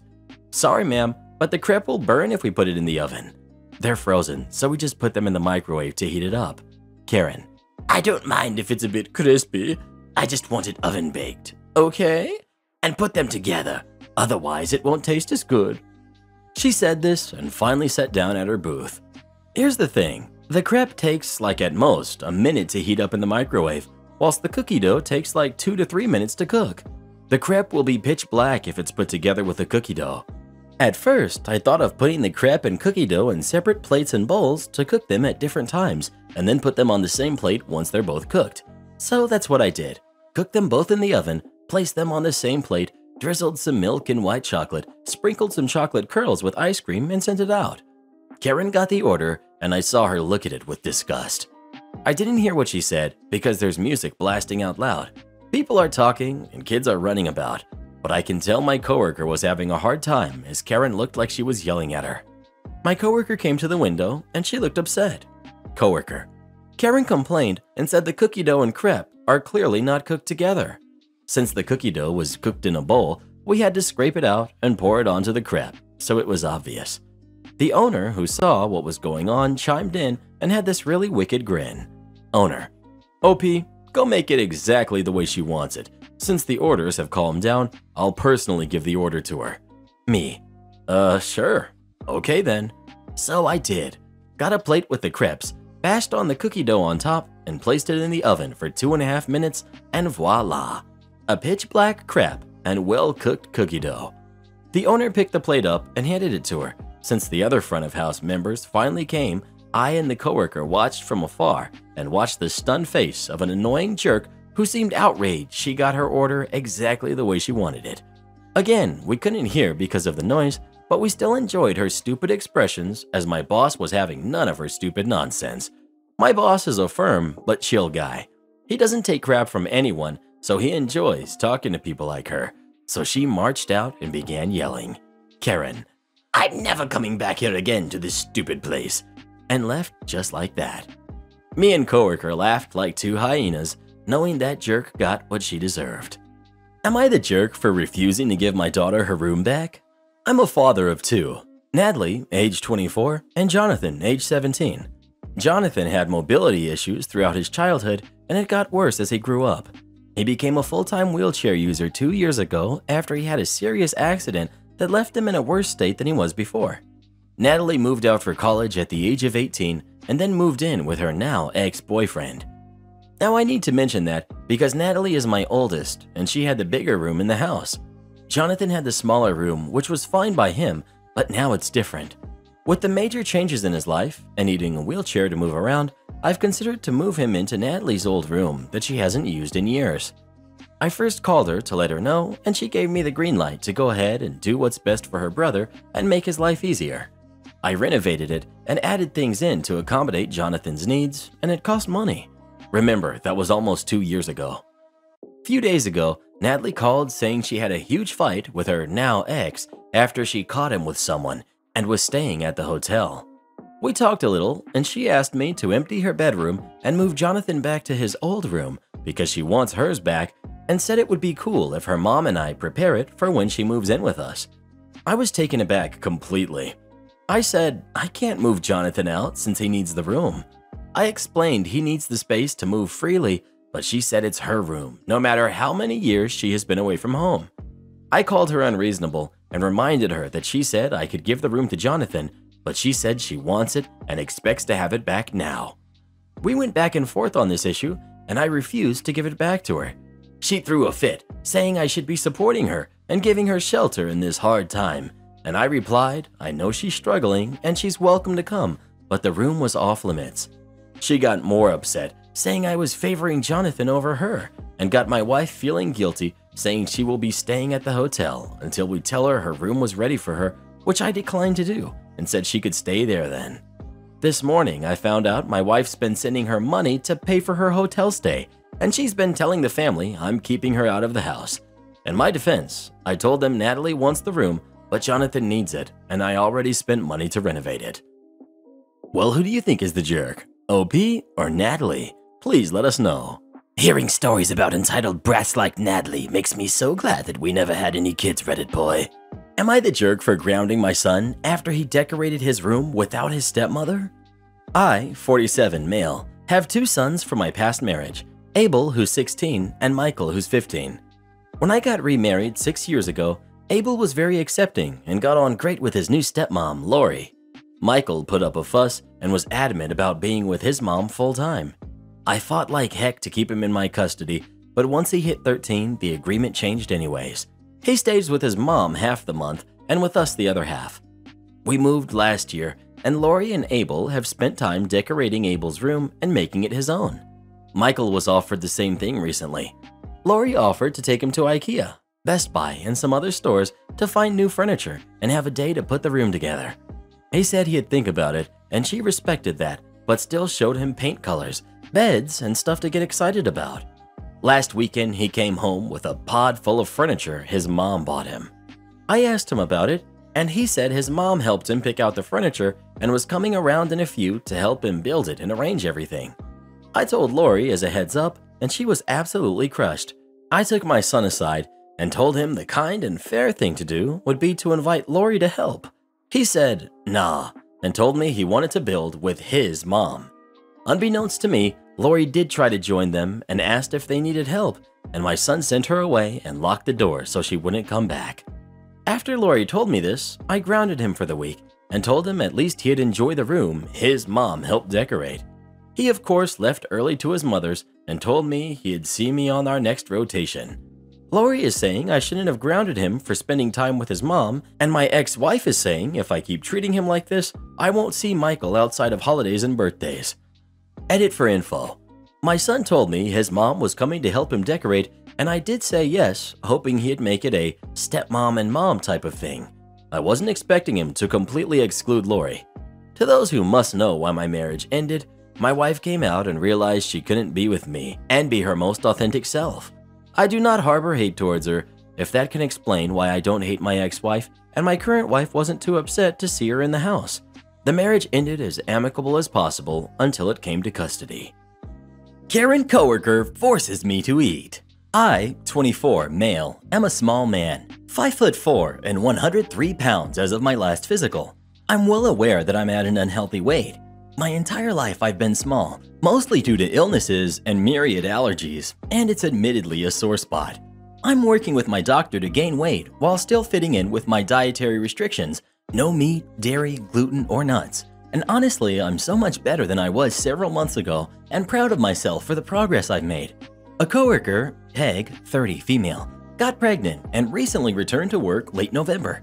She's been increasingly overt and uncomfortable in her concern for me. Peg made and brought in cupcakes for her return, and when I thanked her for thinking of us but refused, citing my gluten allergy, she was visibly upset. She didn't shout or complain much, just sighed heavily and said that she would put this one in the break room with the rest. I felt awful. Then she brought me a steak sandwich the next day on gluten-free bread. Again, I thanked her, but I had brought in my own lunch and needed to focus on that. Peg told me it was in the fridge for when I finished. Ended up bringing it home so she wouldn't feel bad and gave it to my boyfriend. Next day, she approached again. I refused again. She insisted. By now, we weren't alone in the break room. She joked that it was rude to refuse a home-cooked meal in favor of that, my lunch. At that point, I just took it and thanked her. Boyfriend ended up eating it. Then she just started leaving bagged snacks on my desk. She would approach with a snack or a portion of whatever she made for dinner the night before, and not leave me be until I had taken it. I went to our boss and explained that I felt uncomfortable and was told that she was probably feeling maternal and it would negatively impact morale to discourage her. So, been taking notes since then. What days Peg has given what, when, who witnessed it, etc. From 12-8 to now, she's done it 23 times. Yesterday, I took Peg aside and explained that while I was touched, I would appreciate it if she wouldn't bring in anything else. She said that I should have said something sooner. She was only trying to help. Have I seen myself in a mirror? Does your boyfriend like you starving yourself? Among other phrases. Livid, I told her that maybe I didn't feel like sharing my personal medical history with her just so that my wishes were respected. For God's sake, we work with a hospital. Don't you know anything about HIPAA? We parted from there, me childishly storming off and her in tears. Have I already been a huge jerk and would a report to HR just be the icing on the cake? I went to HR, saying that the matter was settled, but I wanted it documented. Subsequently was told that there would be an investigation and the incidents would be corroborated with witnesses. Because, as is, the full record I claim is severe enough to warrant potential action for Peg and several other coworkers who also engaged in her behavior. HR started the process, apparently immediately, because I walked in yesterday to a crap storm. This plunged the department into war. Many agree Peg was out of line. Some told me I should have kept the status quo. Some said I was ungrateful and entitled. One said I should have handled this maturely, and who could blame her when I look like that, and I should be ashamed of myself. Another coworker suggested I work from home. Another told me he was sorry for not stepping in. I went to go get my lunch out of the fridge, only to find someone had disposed of it and left behind the empty Tupperware. Nearly everyone has an opinion. The people in my corner have advised me to keep my head down and to take care. My boss held a meeting, first with Peg and me, then a second with just me. During the one with Peg, I was told to apologize for my part and Peg likewise. I'm sorry if I made you uncomfortable by caring about your health. My boss asked if I was satisfied now. I brought up Peg's comments, and my boss said I invited them. No one would call that harassment, and I need to work on myself. Together, we went through each of the 23 events. She excused each of them until I was left to feel like I'd been harassing Peg. The next meeting was even worse. Effectively, boss said, I told you not to retaliate, and instead, you searched Peg out to harass her, and your actions have expressed a worrying lack of cooperation with me and your team. She was also disappointed that instead of explaining that I needed her to resolve things, I escalated the situation well beyond the point of reason and cruel to someone who only wanted to help. She said I won't get far in life and I'm not likely to get anywhere vocationally if I can't be a team player and actively sabotage a happy workplace. She hoped I will learn from this teachable moment how to behave in a collaborative environment as it's inappropriate to involve HR for small misunderstandings. Boyfriend is mad. I'm just tired, confused, and hurt. HR seemed sympathetic. Boss is very clearly on Peg's side. The office is split and tense. Currently updating my resume and job searching. It really does feel like a nightmare. Haven't felt good going into work for a while, and this just made it 10 times worse. My Karen ex tries to manipulate me into staying with her, ends up getting her feelings hurt. My ex and I got together over three years ago, moved into my house after a year. She has two kids from a previous relationship. We also have a kid together who's now almost a year old. We mutually decided to break up a few weeks ago. I have my reasons and she has hers, but ultimately, her kids play a big role in the breakup. Not their fault, it's more about our different parenting styles. Due to their past, she has a protective bubble around them that was a massive source of conflict. I could write a list, but I don't see how it would be beneficial to this. Anyways, we broke up because we didn't want to resent each other for our kids' sake, like the way she resents her other kid's father. They've been staying here until she finds a new place. However, she keeps making remarks about how I'm going to struggle on my own, especially when I have my daughter half the time. I've let it go because I'm pretty sure she's just projecting she will no doubt struggle.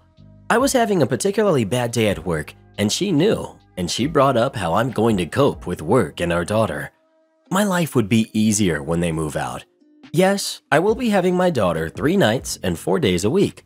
I changed my work pattern so when I do have her, I don't have to work. So I have no issues there. Looking after my daughter will be a breeze. I have no issues now looking after her. In fact, I make sure I have her more than her mother because I love spending time with her, and it will be even easier when her and her kids move out for so many reasons. The biggest is that all three cannot help themselves and always have to disturb my daughter when she's trying to sleep. So she then doesn't sleep and gets cranky and whines until I take her to her mother's so I can put her to sleep in peace. All three are extremely messy. My entire house is filthy and it stresses me out to no end, and none of them clean up after themselves.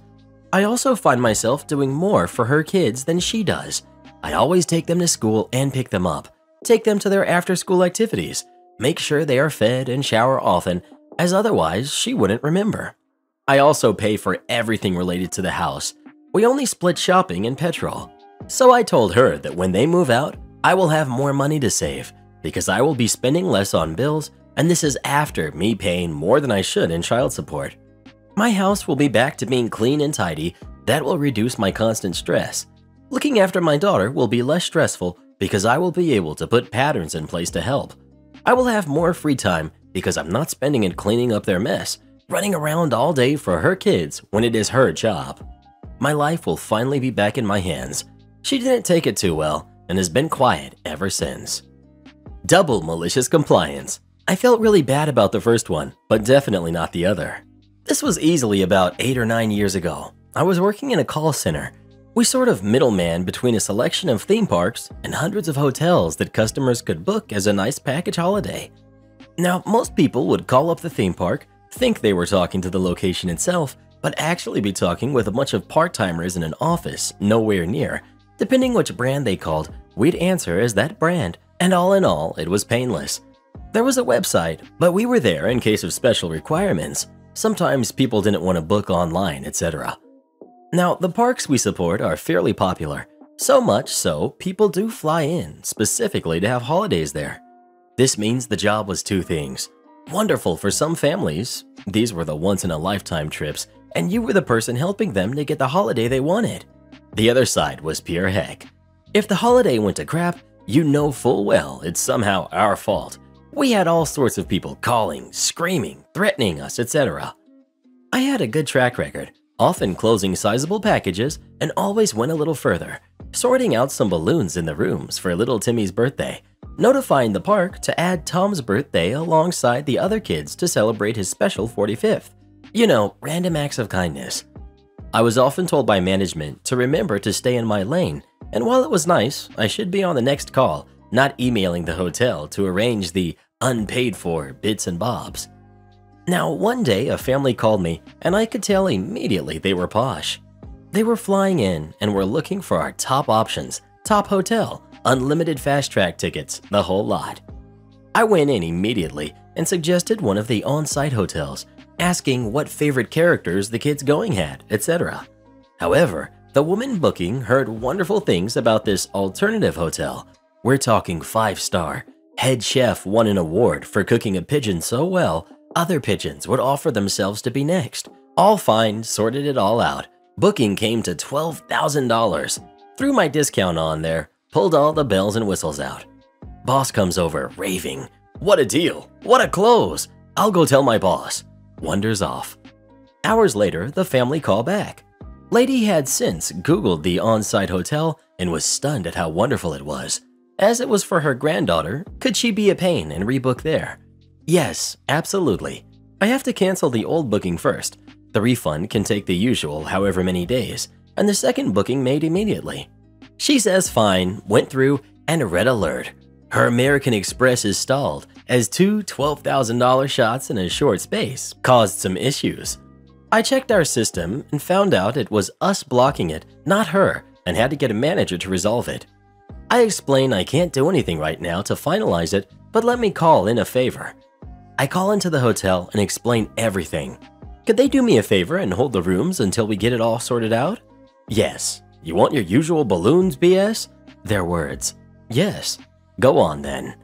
I log everything in our system, all the conversations, and who I spoke to. I go ask my manager, and she's fuming because she's been bragging on how she's doing well because I closed this sale and suddenly asking her to refund the amount. Yeah, but it's to book it again. The second booking was actually more, and we'd end up still better off, but she wobbled about it. Tells me she will do it, but it's end of my shift, so I need to go home. I beg her to call the family, she said she would. Two days after my next shift, I sit down and see that my weekly total is missing the 12,000, but not replaced with the 15,000. I go ask my manager what's happened. Did she speak to them? No, they didn't answer. They'll call back. I asked if I could call them myself. No, get back on the phone. This is not your job. Your job is to answer the phones. I protested. This could be $15,000 we lose.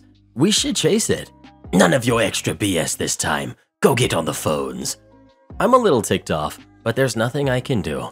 So I decide the smart thing to do is log everything new in our system, including what my manager told me, and just answer the phones. Two days pass and I get a phone call from the family asking for me to get patched over. They were ready to pay again. Amazing, let's do it. I call the hotel, sort out the package, and all ready to go. The red alert comes up again. My manager hadn't greenlit the payment. However, as the refund had been processed, it was just sat in pending. All my manager had to do was hit a button and the family would get the confirmation email. I spoke to my manager. She tells me to buzz off and to stop bothering her over this. I mark all that in the account on the system and promptly have a week off. I come back in, it's a Sunday night, slowest shift of the week. Usually, people phoning to tweak a booking, ask what time the park opens, etc. But then, one phone call came in to a newbie. The screamers are easier to deal with. They come in hot and you just play kind and calm. They look deranged, and as all calls are recorded, if it needs escalating, you look sane. It's the calm, collected complaints which are the scariest, and this family's grandma? She's definitely done some crazy things. The poor newbie got this call, and we knew immediately something was up. He nervously asked if I was on a call and if he could patch them over. Sure thing. It's the grandma, and she's not happy. Calm, but not happy. They had flown in at the park's hotel but as no payment had been received, they weren't allowed to check in. I checked the booking. My manager never processed. They were sat in the lobby, four kids, two sets of parents, and grandma, and nowhere to stay. I called my manager. It was 9 p.m. at night at that point, and she didn't answer. Tried three more times and got an email saying it's her night off, don't bother her. Another one logged in the system. I actually then called the hotel front desk explained I was balloon BS and needed help. The staff there knew me and gave me a break, but they didn't have the power. The hotel manager did. Got patched to him, explained everything, and he went, Okay, here's the deal. We can put the family in the rooms, but we need to charge someone the room. I'm going to charge the company you work for, and you guys can hatch it out later. This is the first piece of malicious compliance I felt guilty about. I'd done everything by the book, and there was this family stuck stranded in the lobby, and charging the company for the two was just a no-no. Like, lose your job, have them come after you for the money type no-no. So I tried calling every contact I had, but it was 11 or 12 p.m. at night at this point, and no one was answering. So I said forget it. I called the hotel back and told them to do it, knowing full well I'd be job hunting the next day, logged it and left. Wasn't due in till 10 a.m., but I got a call half past 7 telling me I needed to be there by 8. I arrive, get frog marched into the meeting room with three levels of bosses in front of me my manager, her manager, and his manager. They also had a single printout with an invoice for $15,000 from the hotel in my name. They went in on me 20 minutes of yelling, shouting, one left to get HR in for an immediate dismissal. HR arrived and only asked one question can you justify why you comped a $15,000 package? The only thing I could think to say was, check the logs. My manager looked thunderstruck. Her boss looked perplexed, and his boss just looked at my boss with a scowl, and all three told me to wait there while they left and HR sat with me. 10 minutes later, I was told to take the day leave, and when I came back the next day, my manager was on the phones like the rest of us, and I was told I'd be reporting to her boss alongside the wider team learned two things. Do things nice, and people do nice things for you. Also, log everything, emails and conversations if you ever feel it wasn't right. Make a note and timestamp it for the love of God. Am I the jerk for buying a property where the house burned down, leaving a small mother-in-law suite, and not rebuilding the house? I was looking to buy a place, but I wanted something very small since I'd be living alone and I don't want a lot to clean. I found something pretty unique, a lot which had had a house that burned down and was demolished, everything taken out so the land could be built on. But there was a garage still standing with a one-bedroom mother-in-law suite above it. Just a bedroom, bathroom, and a little kitchen. This was surrounded by a half acre of mostly forest. I didn't know what to think at first till I went and toured it. I loved it. The three-car garage would give me space to work on my car and bikes. The suite upstairs was bigger than any apartment I had and would be all my own to customize in a way I never could with an apartment. And the price was super low, unbelievably low for the area. I actually was able to pay a 50% down payment and I'll own it full on in 5 years. I checked with the local regulations and it would be legal for me to live in the mother-in-law suite on the property. Anyway, long story short, I closed on the house and moved in. I was really happy with the place. It was just the right amount of space for me, roomy without being a pain to clean. The outdoor space is great for my dogs and hosting barbecues with my friends. So on to the trouble. A couple neighbors made comments about being glad someone moved in to fix the place, which was an eyesore on their street. But a while later, my neighbors started asking when I'd start building, and I realized they thought I was living in the mother in law suite and planning on building a main house. I said I wasn't planning on it yet. I don't need a lot of space yet. My neighbors got upset I was bringing down the property value by leaving the lot a vacant lot and living in an old garage. Not mentioning that garage was new and a whole residence. I said I wasn't trying to bring it down, I'd keep it nice, but I didn't have house building kind of money. They said that just by keeping it as it was, I was bringing it down, since its value was maybe one sixth of the other home's values. I got frustrated and said I wasn't the one that burned the house down. Maybe blame whoever did that. I just got a place as is. The neighbors got upset with me, saying that because they had been close with the previous neighbors and the fire had been horrible. I said sorry, I didn't know, but honestly, they couldn't put their expectations on me after I'd bought a place not knowing any of that. I just bought a place wanting to get something I could afford. How could I expect to suddenly be expected to spend six times as much? The neighbors said that if I was buying a demolished building's land, there is an expectation that I rebuild. Am I the jerk for buying the land without plans of building? Evil Mama Bear is gonna sell her house and move away. Well, it finally happened. Eventually, she'll be leaving for good. Evil Mama Bear recently made another post on Facebook telling everybody that she hates us all for ruining her life and that she wishes we'd all go to heck for it, but no longer cares because heck is too good for the likes of us. She's apparently gonna sell her house so she can move back to her parents' old family property in Texas that they left her when they passed 20 years ago. She can't leave just yet, though, because things aren't settled with the courts over her attempt to attack future brother in law and their impending restraining order against evil Mama Bear. She's still having an enormous pity party online about how the family is supposed to have her back because blood is thicker than water. But they all just savaged her, especially when she tried to blame this all on me again. It's basically come down to her saying that she wished I'd never been born because I'm a devil incarnate and the source of all of her problems. Apparently, I ruined her marriage, her job, her relationships with family, etc., and am the Judas that took her little princess away. That just got her laughed at, and I mean really laughed at. Even my sister thought it was funny. That made Evil Mama Bear throw an online tantrum and said she hates us all and will be shutting her Facebook down soon because she can't take being mistreated by us any longer. That caused a huge backlash because they all called her out and started quoting things they remembered. So many relatives did this that Evil Mama Bear just didn't respond to them. My sister even joined in and told Evil Mama Bear on Facebook that all she's doing is projecting her own faults onto me because she doesn't want to deal with the consequences of her own actions. Apparently, Sis's therapist told her that, then my sister went on to list numerous things that definitely were evil Mama Bear's fault, and that of course made my mother go into more denial. But she had no real answers on how said things were my fault.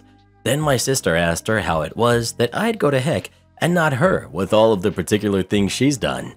Evil Mama Bear didn't respond for a few minutes, then just said we were all backing her into a corner to pick on her and she was gonna go cry. Then she logged off. Her Facebook has been seemingly dead since then. Either way, there's pretty much nothing my mother can do to regain any semblance of her old reputation or what little of it there was to begin with, since most people who knew her didn't like her at all. She was outed as a bad person, made a social pariah, arrested twice, and fired from her job. On top of that, all her neighbors hate her and have for decades, all because she's a narcissistic jerk. She has no friends and no family left to fall back on, so there isn't much left keeping her here anymore. The house my mother owns and currently lives in is a nice vintage one that's in great condition thanks to remodeling by my father when I was a little kid, so I doubt it will take very long for it to sell once it's listed. Meanwhile, my girlfriend, sister, future brother-in-law, and myself all went out to the same diner we unveiled the pregnancy DNA test results in and had a good dinner and some laughs got me a chicken fried steak. Since I've still got the restraining order up and cameras at my house, business, cars, and my sister's apartment, I doubt my mother will bother trying to pay either of us a visit again. At this point, she's already in enough trouble with the law, and I doubt she wants to do anything that'll risk her getting arrested again, because I know that's one of the few things she's really afraid of. But I'm gonna keep my guard up. We are all well prepared with cameras, we go places in pairs, we have tasers, pepper spray, and phone tracer apps, and we've gotten the word out on Evil Mama Bear anywhere we could.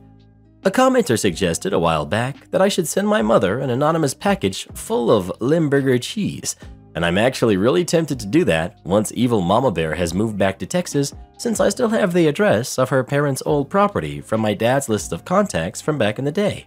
It would be one last nice bit of petty payback for all of the misery she put us through. Shame on a hotel for giving people with reservations a room. Shocker. If there were a contest of stupid crap I've gotten yelled at for, it's this one. My city has been hosting the playoffs and conferences for the past few weeks, so we've some pretty rough flips. I 100% do not blame housekeeping for dropping rooms to clean. Our sister property had it worse and was having to relocate reservations to a brand that only has queen beds. Unfortunately, this lady was chosen and she was not happy about receiving a queen. So, my sister property's night audit checked in with me to see what my inventory was looking like, but all we had were double queens. She said she was waiting for No Queens McGee to call back to inform her that she did not have any luck with us. As the night goes on, this lady walks in, gives me her last name to check into her reservation. Me. I'm sorry, I don't have anyone by the last name McGee. When did you book the reservation? No Queens McGee. Um, I was supposed to have a reservation. She was supposed to make the reservation over here. That's what she told me. By then, I caught on to who was standing in front of me, and I informed her that the sister, NA, was trying to reach out to her to let her know that we only had doubles. That's weird. I just called reservations. He said y'all had a king. Me.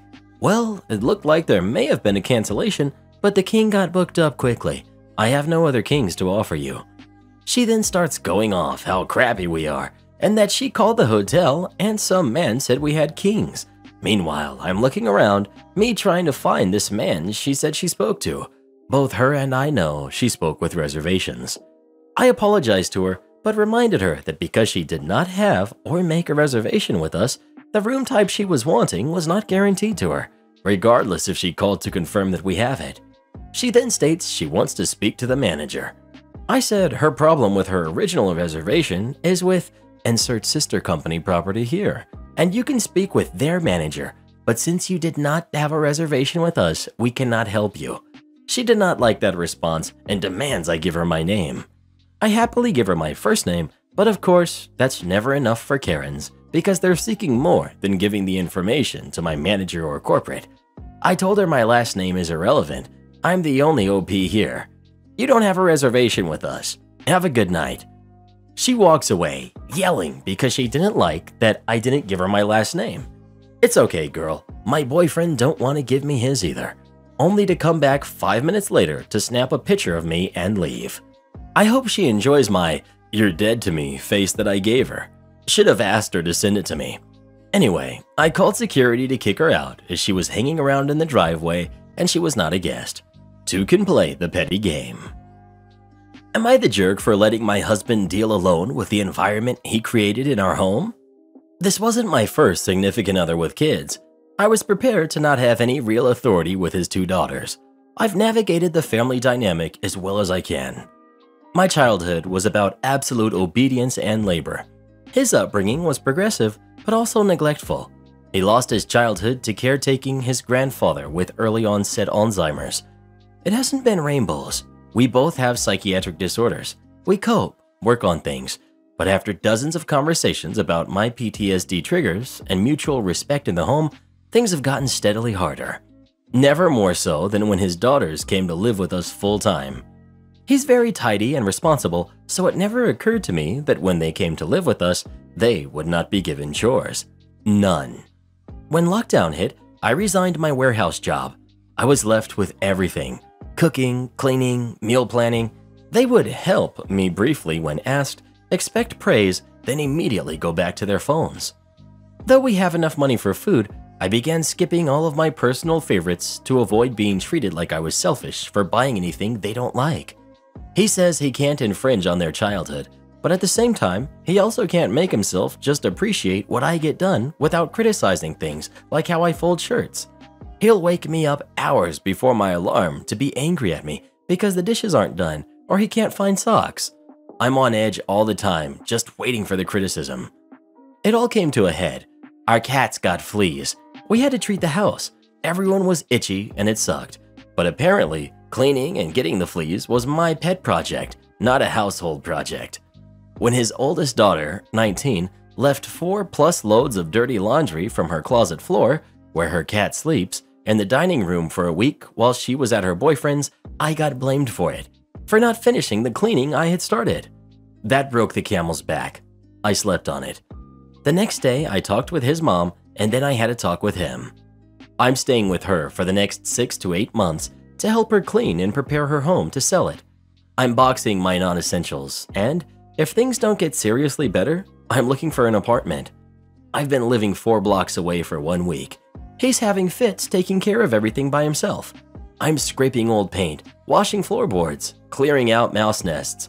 He had three loads of laundry this week and dishes daily and is finally upset that his kid just doesn't do anything and insulted. And all I can say is, yeah, that's rough. Am I the jerk for quitting the home that I would rather live in and clean an old broken down house that smells like mouse and doggy do than to keep cleaning up for my family? Is it just petty that if my husband doesn't have a moment of, oh wow, she made life better, and apologize for shaming me looking at a box of frosting free Pop Tarts, I'm not going back? Auto Gratuity Nightmare. Hi, first time posting here. To start off my story with some background info, my restaurant charges an 18% gratuity for tables of 6 plus. We are also for the most part a small cafe, so most of our tables are made up of ones and twos. Oftentimes, when we get larger parties, we have to accommodate for them by pushing tables together, opening a certain back room for them to eat, assigning one server to them, etc. This is frustrating as is because it clogs up the wait list and takes away from the servers, but also because these people usually tip the least. Before the auto gratuity, I've gotten tips of less than $5 on $150 plus tabs or been stiffed. So now that the 18% is mandatory, it would keep us from getting stiffed, right? Wrong. One busy Saturday, we got a table of 10. Nothing too unusual, just people being rude and clogging up the waitlist per usual. It was totally made up of old women. Right off the bat, it was a nightmare. Everyone wanted water and blank, and I had other tables at that point, so getting 20 drinks was extremely time consuming and inconvenient. But no worries, stuff happens. Just do it, drop them off, and get their order. I drop off all of their food eventually and breathe a sigh of relief. It was a bit rough just dealing with such a big table, but it wasn't terrible. Finally, I got their boxes, and one lady pulled me to the side. She asked for an apricot pie. Of course, I'd said. Then I bagged it up for her and brought it over. No, no, no, she whispered harshly. It's her birthday. We want it served. This lady wanted me to sing happy birthday, cut up her pie, and serve it on 10 separately microwaved plates. Keep in mind, I was praying for this auto gratuity to come through because I had already been serving primarily them for an hour already and had not made any money. After their pie, I dropped off their check, and the news was broken that every single lady wanted their check to be split. At this point, I was visibly annoyed trying to figure out who drank what and knowing I would have to make 10 different transactions. That's when the straw broke the camel's back. Every single woman had a coupon. It easily cut the bill by more than half and cut the gratuity with it. When it was all said and done, I'd spent two hours serving with a $10 gratuity to show for it. The women even complained about their tiny gratuity, which just tells me they didn't plan on leaving anything. Maybe I'm just spoiled, but time is money, and I can easily make 30 to $40 in tips per hour on a Saturday. Moral of the story some people suck. Am I the jerk for asking a couple to move out of my seats at the movies, even though it was their birthday? So, this happened yesterday, and I still feel pretty bad about it, so I wanted to ask Reddit's opinion. I, 25 female, went with a friend to watch the new 007 movie at a pretty popular theater. We booked our seats in advance via online and our seats were M10 and M11, towards the back in the middle. We got there 10 minutes before the movie started and saw that there was a couple in their 20s, a male and female, sitting in our seats. I asked if the seats they were sitting in were M10 and M11 and they might be sitting in our seats. The guy and the couple said this was N10 and N11. My friend and I were confused, so we asked the row in front of us to see what row that was. They said it was L. So if we go by the alphabet, and the row letter was also on the carpet, the couple were not sitting in their seats. I asked the couple again, nicely, that they might be sitting in the wrong seat, and the guy started to get really frustrated, saying that these are just seats, and that they even asked a worker here and mentioned that this was N10 and N11. This is where I might have been the jerk. My friend said, let's grab a random seat, but I went outside the theater and grabbed a worker and explained the situation. The worker came up to the row with me, but mentioned that there were still empty seats. I replied to him that people were still coming in, so I didn't want to take someone else's spot if the seats the couple were sitting in were actually our spots. The couple saw us bringing a worker in, and the guy came up to us and started to talk bad about me in front of the worker and how I'm blowing it out of proportion and said crude things about me. The worker went out and got another person, I assume the manager, to verify the seats. At this point, the movie didn't start yet, but people that overheard us were also saying that these are just movie seats and that I should just sit somewhere else. Turns out the couple was wrong and those were our seats. The guy started to yell that he wanted a refund because the N10 and N11 seats are not in the middle. Any row after M only had seats on the left and right side, and empty in the middle for accessibility reasons. He said that I ruined his birthday, and I told him okay, and told the worker to give us a seat that's not taken and we'll sit somewhere else and he said no, it's too late and I ruined his birthday night. He stormed off and his girlfriend walked out and told me that I ruined the guy's birthday. The movie began shortly after, so we didn't cause a scene during. However, I feel bad for things to escalate so much, but I didn't know where else to sit, as it could have been reserved. Plus, it was his birthday. Should I have just let the couple have my seats? Am I the jerk? No, that guy's a psycho and I'm glad you ruined his birthday.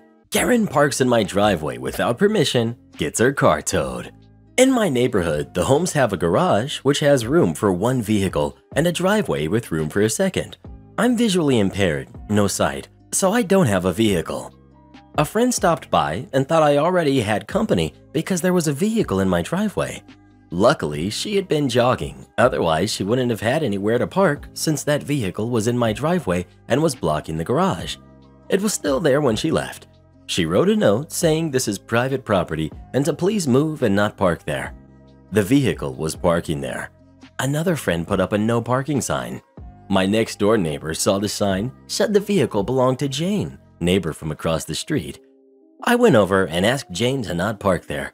Jane said her fiance just moved in, and because Jane already had two vehicles, because one is hers for her work, she is apparently self employed, they needed somewhere for the third vehicle, and I'm not using my driveway, so they're using it.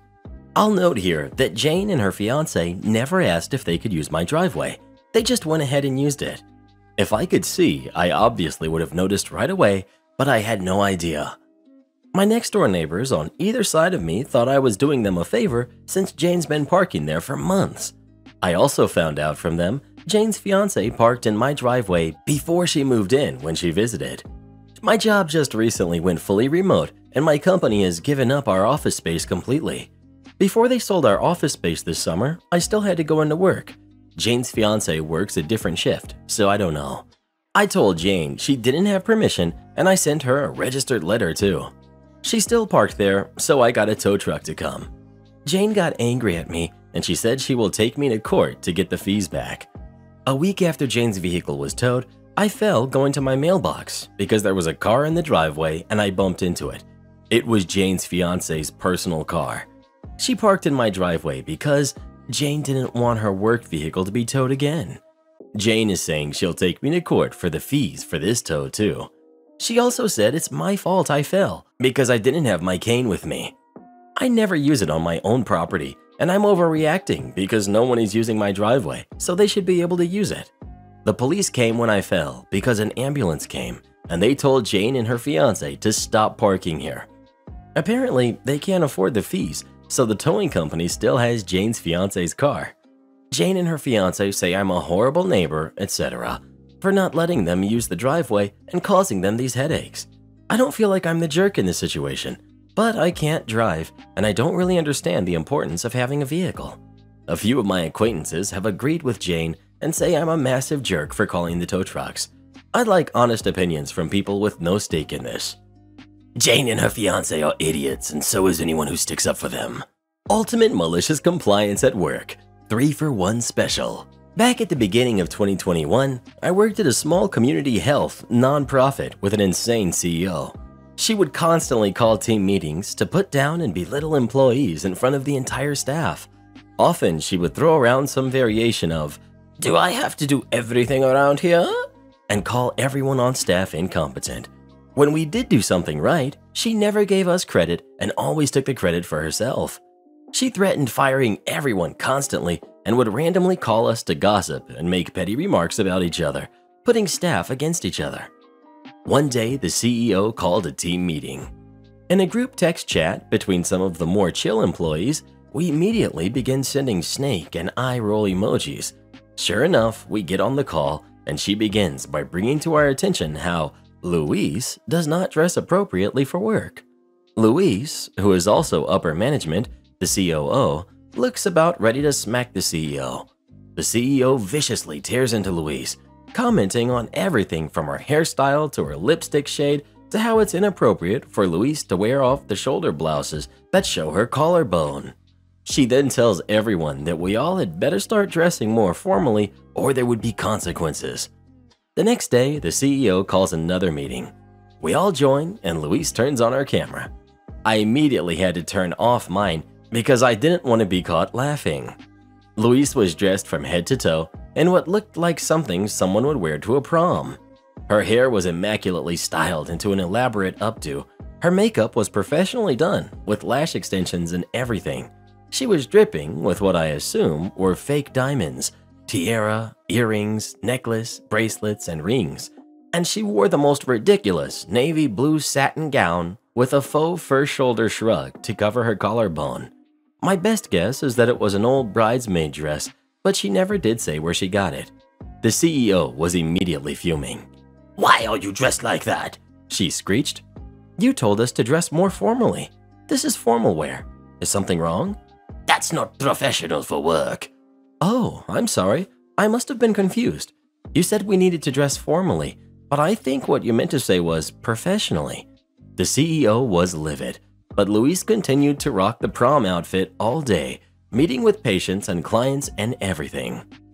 Later that week, Tina texts our group chat and says the CEO is requiring her to submit a detailed timesheet with what she was doing and working on down to the minute for her entire day.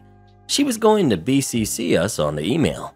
Sure enough, it pops into our inboxes a few minutes later. Tina had literally detailed her entire past 24-hour day down to the minute. 6.45 a.m., awoken by husband's flatulence. 7 a.m., went to the bathroom. 7.12, turned on the shower. 7.13, tested water temperature with hand. You get the idea. Apparently, the CEO called her on her cell phone and berated her for sending such a detailed timesheet. Tina reminded her that she had requested her entire day down to the minute and didn't specify she meant her workday only. Finally, my turn.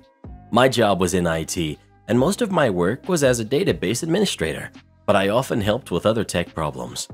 One morning, the CEO called me repeatedly at 2 a.m. My phone settings have it so that if I miss five calls in a row from the same person, the Do Not Disturb mode is turned off and the phone rings. I see who it is, silence my phone, and refuse to answer. At 6 a.m., she calls again. Again, I refuse to answer. 7 a.m., refuse to answer. 8 a.m., refuse to answer. Finally, at 9 a.m., I call her back. She asks to hop on a video call. I've been trying to get a hold of you all morning. Where have you been? Ah, Can I help you with something? I asked, not even trying to hide my irritation. I literally rubbed my temples and slurped on my coffee loudly. You didn't answer my question. And I'm not going to. I was off the clock at the time you called. You're salaried, right? That means it doesn't matter if you work 100 hours or one hour. You get paid the same. So I expect you to be available when I need you. What do you need? I need you to reset all of our company usernames and passwords. We're letting someone go today, and it's company policy to change all of that. At the same time, Louise texts me saying she's being let go. So I read the company handbook and make a copy of the page that says the IT person must update the usernames and passwords and give the information to the COO. I changed all of the usernames and passwords to everything, from social media accounts to bank accounts to QuickBooks and emails. I send the usernames and passwords in an encrypted email to Louise and then send the CEO my two week notice. Two weeks go by. It's the last hour of my last day. So what do I do? Change all those usernames and passwords again and send them to Louise, who is also celebrating her last day. I log out of my email, put my company phone and laptop in the mail, and spend the evening cackling at my malicious compliance. The very next day, on Saturday, the CEO calls me repeatedly. Finally, she leaves me a long and howling voicemail to say what I did was unprofessional and she would make sure my reputation suffered and I would never work in that industry again. I wait until Monday to call her back. Hey CEO, I saw you called. I need the usernames and passwords to everything. I'm sorry, but I don't work there anymore. You'll have to contact your IT person to help you with that. You are the IT person. No, I was the IT person. Now I'm a private consultant, and I would be happy to provide my services at a rate of $100 an hour. You changed all the usernames and passwords and didn't provide them to me. Correct. Per company policy, when an employee leaves the organization, the IT person is supposed to update everything and send the new info to the COO. I was leaving, so I updated everything. I provided all the usernames and passwords to Louise. You knew she was quitting too. Why would you give them to her? Because the company policy says to transfer the new username and passwords to the COO, not the CEO. Louise was the COO when I left. Caught in her own bureaucracy, she then had to spend weeks trying to gain access to all of the company accounts. On Louise and my last day, Tina and another employee quit. Another person announced her retirement. Once the five of us were gone, we were followed by several other employees. In total, 11 people on the 14 person staff quit within a few weeks. The best part? I got a new job making the same amount I did at the crappy nonprofit but part-time in a government position and with full-time benefits. So much for my reputation suffering. I stayed in touch with one of the employees who stayed behind. She's only three years away from retirement and is basically Stan from the office. She said they've hired at least a dozen people, all of them quit as soon as they could find another job. Anyway, I'm bored in the hospital and started going through old texts, stumbled on our old group chat and had a good chuckle. Thought you all might find it humorous too. Names obviously changed. Entitled cousin insults my mom for having me young, then proceeds to have a baby young as well. So I'm from Southeast Tennessee, and teen pregnancies are common. My cousin's friend, B, had a baby at 17. I don't know if the dad is still around, but B's parents are supportive and helped her. As far as I know, B has a job and loves her kids. Although she's definitely young and the circumstances are not the greatest, I'd consider her a good mother to the current toddler and her newborn. Backtracking a little bit, my mother also had me young, at 20, and she had to drop out of college for me. My father stuck around and has been a wonderful dad. Both of them did good for me, albeit there were some crazy moments. Q two years ago, my cousin went on a random, massive rant about useless teen mothers. Now, I don't think teen pregnancy is a great thing, and many teen parents are very irresponsible, but the tone and writing of the post just seemed so unnecessarily mean. Plus, the post was directed at B specifically, who was now pregnant with her second baby. Again, I'm unsure of the status of the father, but everything seemed fine. She was 19, I think. My mother is a very confrontational woman, and she always thought B was super sweet. I did too, so I was surprised when my mother showed me it. I don't have Facebook, so I couldn't interact with the post. My mother reminded my 19 year old cousin that not all young mothers were useless, etc., and circumstances sometimes are just bad, even with good planning. My mother helped raise my cousin, who then called my mother very mean names. She blocked my mother. Fast forward to 2020. Cousin is pregnant at 21 and with a crappy man. Tables have turned. She's now lashing out like crazy. She's demanding new Instagrammable baby clothes. They need to be blue, yada yada, crazy entitled stuff. She's complaining about her sacrifices, and it's just a non-stop pity party. I ignore it, and I really want to remind her of what she said, but I don't. My aunts were reminding her how fast babies grow. so new and expensive clothes aren't necessary. I was raised in mostly purples, so the cousin could ask my mother. Purple wasn't good enough. It was kind of shocking, but also not that she was being like this. Baby is born on a particular date in November of 2020, which, sad enough, was my birthday as well. It's no one's fault here, but this just unreasonably upsets me. Again, no one's fault, not the baby, not the jerk cousins, but God that makes me angry that the woman who insulted my mother over the topic of babies had her baby naturally on my birthday. Cousin will not stop demanding free babysitting for my grandmother, who has been on my mother's side the whole time. Cousin wants to go back to her old life, so my uncle straight up tells her adoption. She refuses because the baby is so cute. Apparently, she also kicked the dad out for being lazy. I genuinely don't know any more about this train wreck beyond that. She seemed happy on Instagram in her latest post, and I moved to New York lately for college, so everything I hear beyond Instagram is from my mother and grandmother. But I seriously doubt that's the whole current story. Am I the jerk for buying myself a new phone instead of getting my husband one? For some context, my husband and I have mostly separate finances. I'm the primary earner, and I cover 85% of our rent and expenses. This is because half his income goes to child support, and I want him to still have money for himself. I'm the kind of person who takes care of their electronics. I can keep a phone for two to four years with very little issue.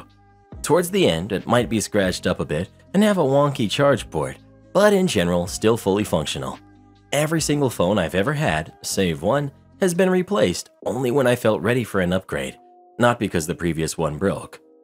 My husband, on the other hand, somehow manages to destroy all of his phones within one to two years of purchase, closer to one than two. In the last five years, I've bought him three phones. Not high end, Moto G series mostly, because I use the same ones and they work well, and in my opinion, hold up well. Every time he gets a new phone, I make sure he has a screen protector and a case and all that good stuff. But he'll take the case off for some reason, or it'll break. The last one had these tabs that clipped a hard shell over a rubber shell and the tab snapped off, and he won't replace it. Then he drops it and the screen protector cracks and is compromised. But he doesn't replace the screen protector either. So from there, he ends up cracking the screen, and over the course of a couple months, the screen gets worse and worse until it's unusable. His current phone is facing imminent death. The screen is half destroyed, part of it won't light, the charge port is barely working, it's a mess. I've been thinking about replacing my phone for a while now, but I was on the fence about it because my phone still works okay. There's a hairline crack in one corner, and the charge port needs to be supported when it's plugged in, but neither is really affecting its function. I have the extra money right now for one phone, so I'm deciding to buy myself a new phone as an upgrade and give him my old one until he can save up and research and buy himself a new one. To be honest, I'm tired of replacing things he's destroyed only for him to destroy them again a year later. At least this way he has a working phone in the interim. I was talking to a friend about this plan, and they said I was being unfair and selfish, that if my phone works, I should be replacing his first instead of worrying about replacing mine. Now I'm second guessing myself. Am I the jerk? Edit. I wanted to add this because it came out when I was writing a comment, and I think it's important to why I'm asking about whether or not I'm the jerk. My husband isn't the kind of guy who speaks up if something bothers him. He won't come in saying, This isn't fair, or make a stink about it. So I get anxious that I'll inadvertently be unfair or rude or hurtful, and then he'll suffer it without telling me. So when someone outside of our relationship says, That's messed up, I want to take it into consideration because it's possible that it is messed up and my husband is too much of a teddy bear to tell me. No folding napkins? Well, okay then. This was a few years ago, back when I was working at a mid to high end restaurant in a touristy New England town. I started as a busser, and that's where this story takes place. First, our cast. We've got yours truly, a floor busser. Other floor bussers, three of them for a total of four. Back bus, the one busser to rule them all. He's stuck in the back room running dishes, polishing silverware, taking out the trash, and a bunch of other stuff. Bob, our lunch manager, not his actual name. Our scene. The restaurant has two floors, with two floor bussers per floor. When bussers arrive, our job used to be folding napkins for use in the service ahead. As one would expect when you put a bunch of high schoolers and one outlying college student, hi, together, folding napkins was not a priority but catching up on gossip was. On a normal morning, I folded a majority of the napkins used during lunch simply because I was faster and could talk while doing so. Meanwhile, the back bus had to set up all the bus stations before he could join the rest of us, and the wait staff set up everything else.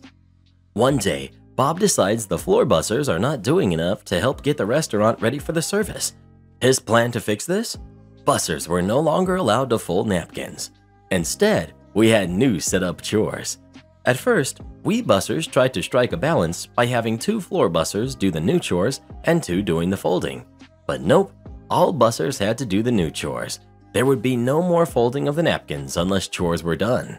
If they weren't done, oh well. From now on, folding napkins was added to the back bus's list of duties. I also worked nights, so I didn't find this bit out until my next lunch shift.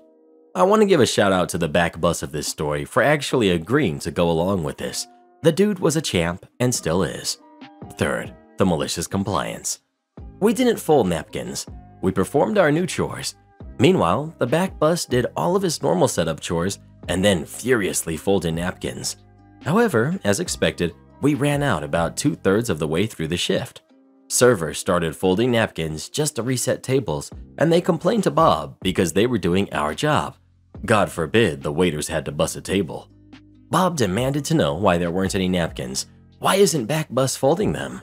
Turns out he was doing one of the dozen other more pressing tasks, like running dishes or taking out the trash.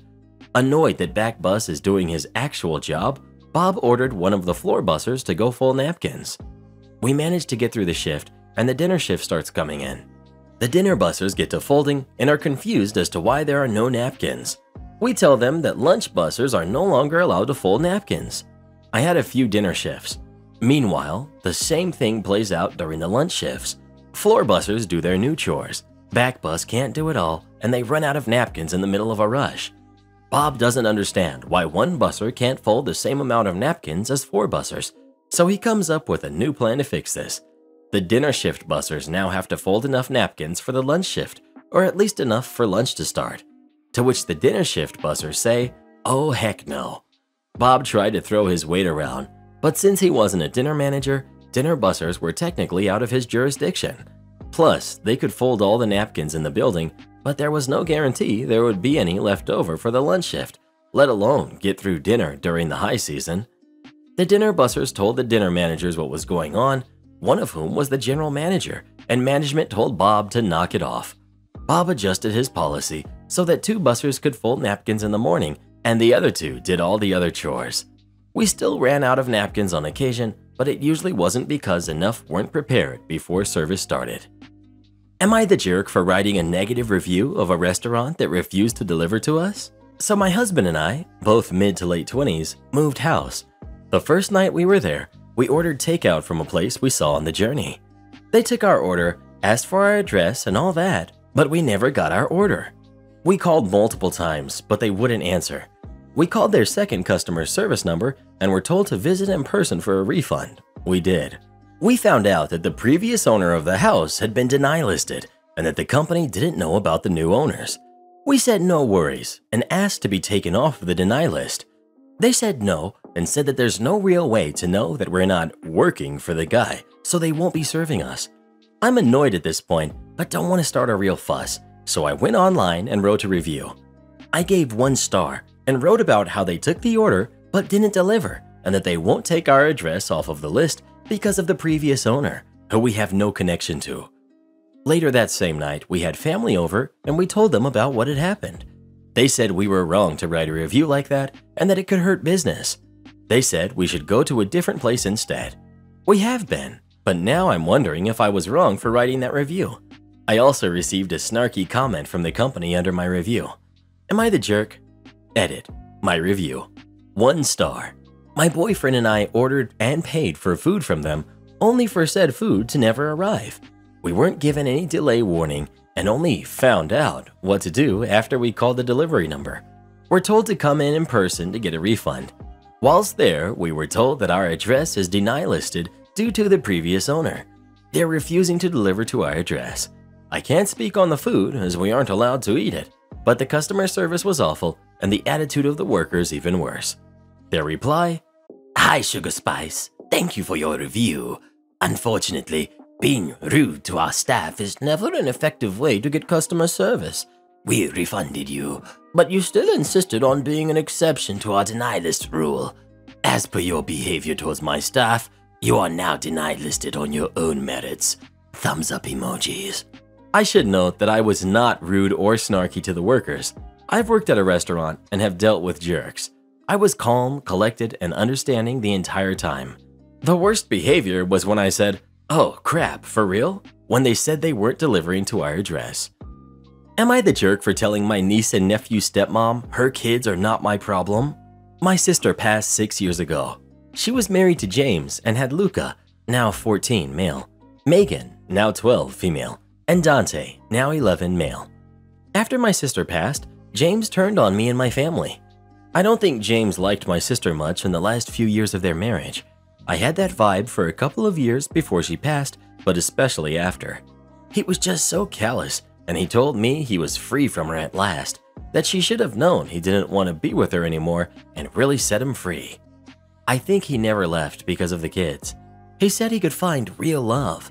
He could find someone better, just talks trash about my sister and it's disgusting. He met his wife 13 months after my sister passed and they got married four years ago. She has a seven year old son and two kids with James. We're not a big blended family, my parents and I see my nephews and niece with visitation granted by the courts after he tried to cut us off, but that's where it ends. We see them one weekend a month and for a certain amount of time at Christmas and near their birthdays. Their stepmother has complained before about us not including her kids with my nephews and niece. Her biggest problem is we have a special birthday cake we make in our family, and we make it for each member of the family every year. Every member gets it. The kids have helped us bake it too. She knows about this. She has seen photos. She wants us to make it for her kids and to include them in the tradition. My parents and siblings have said no. So have I. One day she called me using Luca's phone and told me, as the mother of my nephews and niece, I should share with her kids. I told her she's their stepmother and her kids are not my problem. I want to add here that the kids are aware now of how much their dad resented their mom. It's made their relationship tricky it has also made their relationship with their stepmother pretty bad too. They see how badly they want their mom to cease to exist even in their memories. I know Luca has mentioned that his stepbrother does seem to know more about what happens when he and his siblings are with our family, and he said he does feel left out. He thinks his dad and stepmother are talking about it around the other kids. He told me he kind of feels bad, but he also doesn't want them intruding on the family. He said his stepmother would only use her kids as a spy. Megan said her step and half siblings don't belong in our family, and her stepmother proves that when she acts the way she does. Am I the jerk? You can't quit. I want you fired. The morning after a good rowdy kickback in our apartment, my roommate and I go to the orange hardware store after noticing some holes in the walls. Roommate goes to find plaster, and I go to find the paint. I get to the paint department and I'm looking through the paint swatches to remember what our walls look like. Keep in mind, still very hungover. I pick out a color that's probably the closest, and if not, then I'll just mix my own paint. Art minor. There's no employee at the paint mixing station, so I just put the swatch in my hoodie. To pass the time, I sort the paint swatches properly because mild OCD. Then it comes. Ahem. Here's the cast. Not real names. Employee is George. Manager is Jason. We've got me, and we've got the rude Karen. Karen, I need you to do your darn job and mix me some paint. Me, stares blankly as hangover is blocking my ability to respond. Karen, hello, I'm talking to you. Mix my paint. Fortunately, my brain finally decides to turn on again. Me, I don't work here, gets cut off by Karen. Don't you lie to me. I saw you sorting the color wall poorly. Only a lazy employee would do that sort of thing. Me. Ma'am, I'm gonna be honest. I'm really hungover, and your screeching is making me want to puke. That statement went as well as you would expect. You're a terrible worker, and a terrible person for saying that. I'm going to get your manager and have you fired.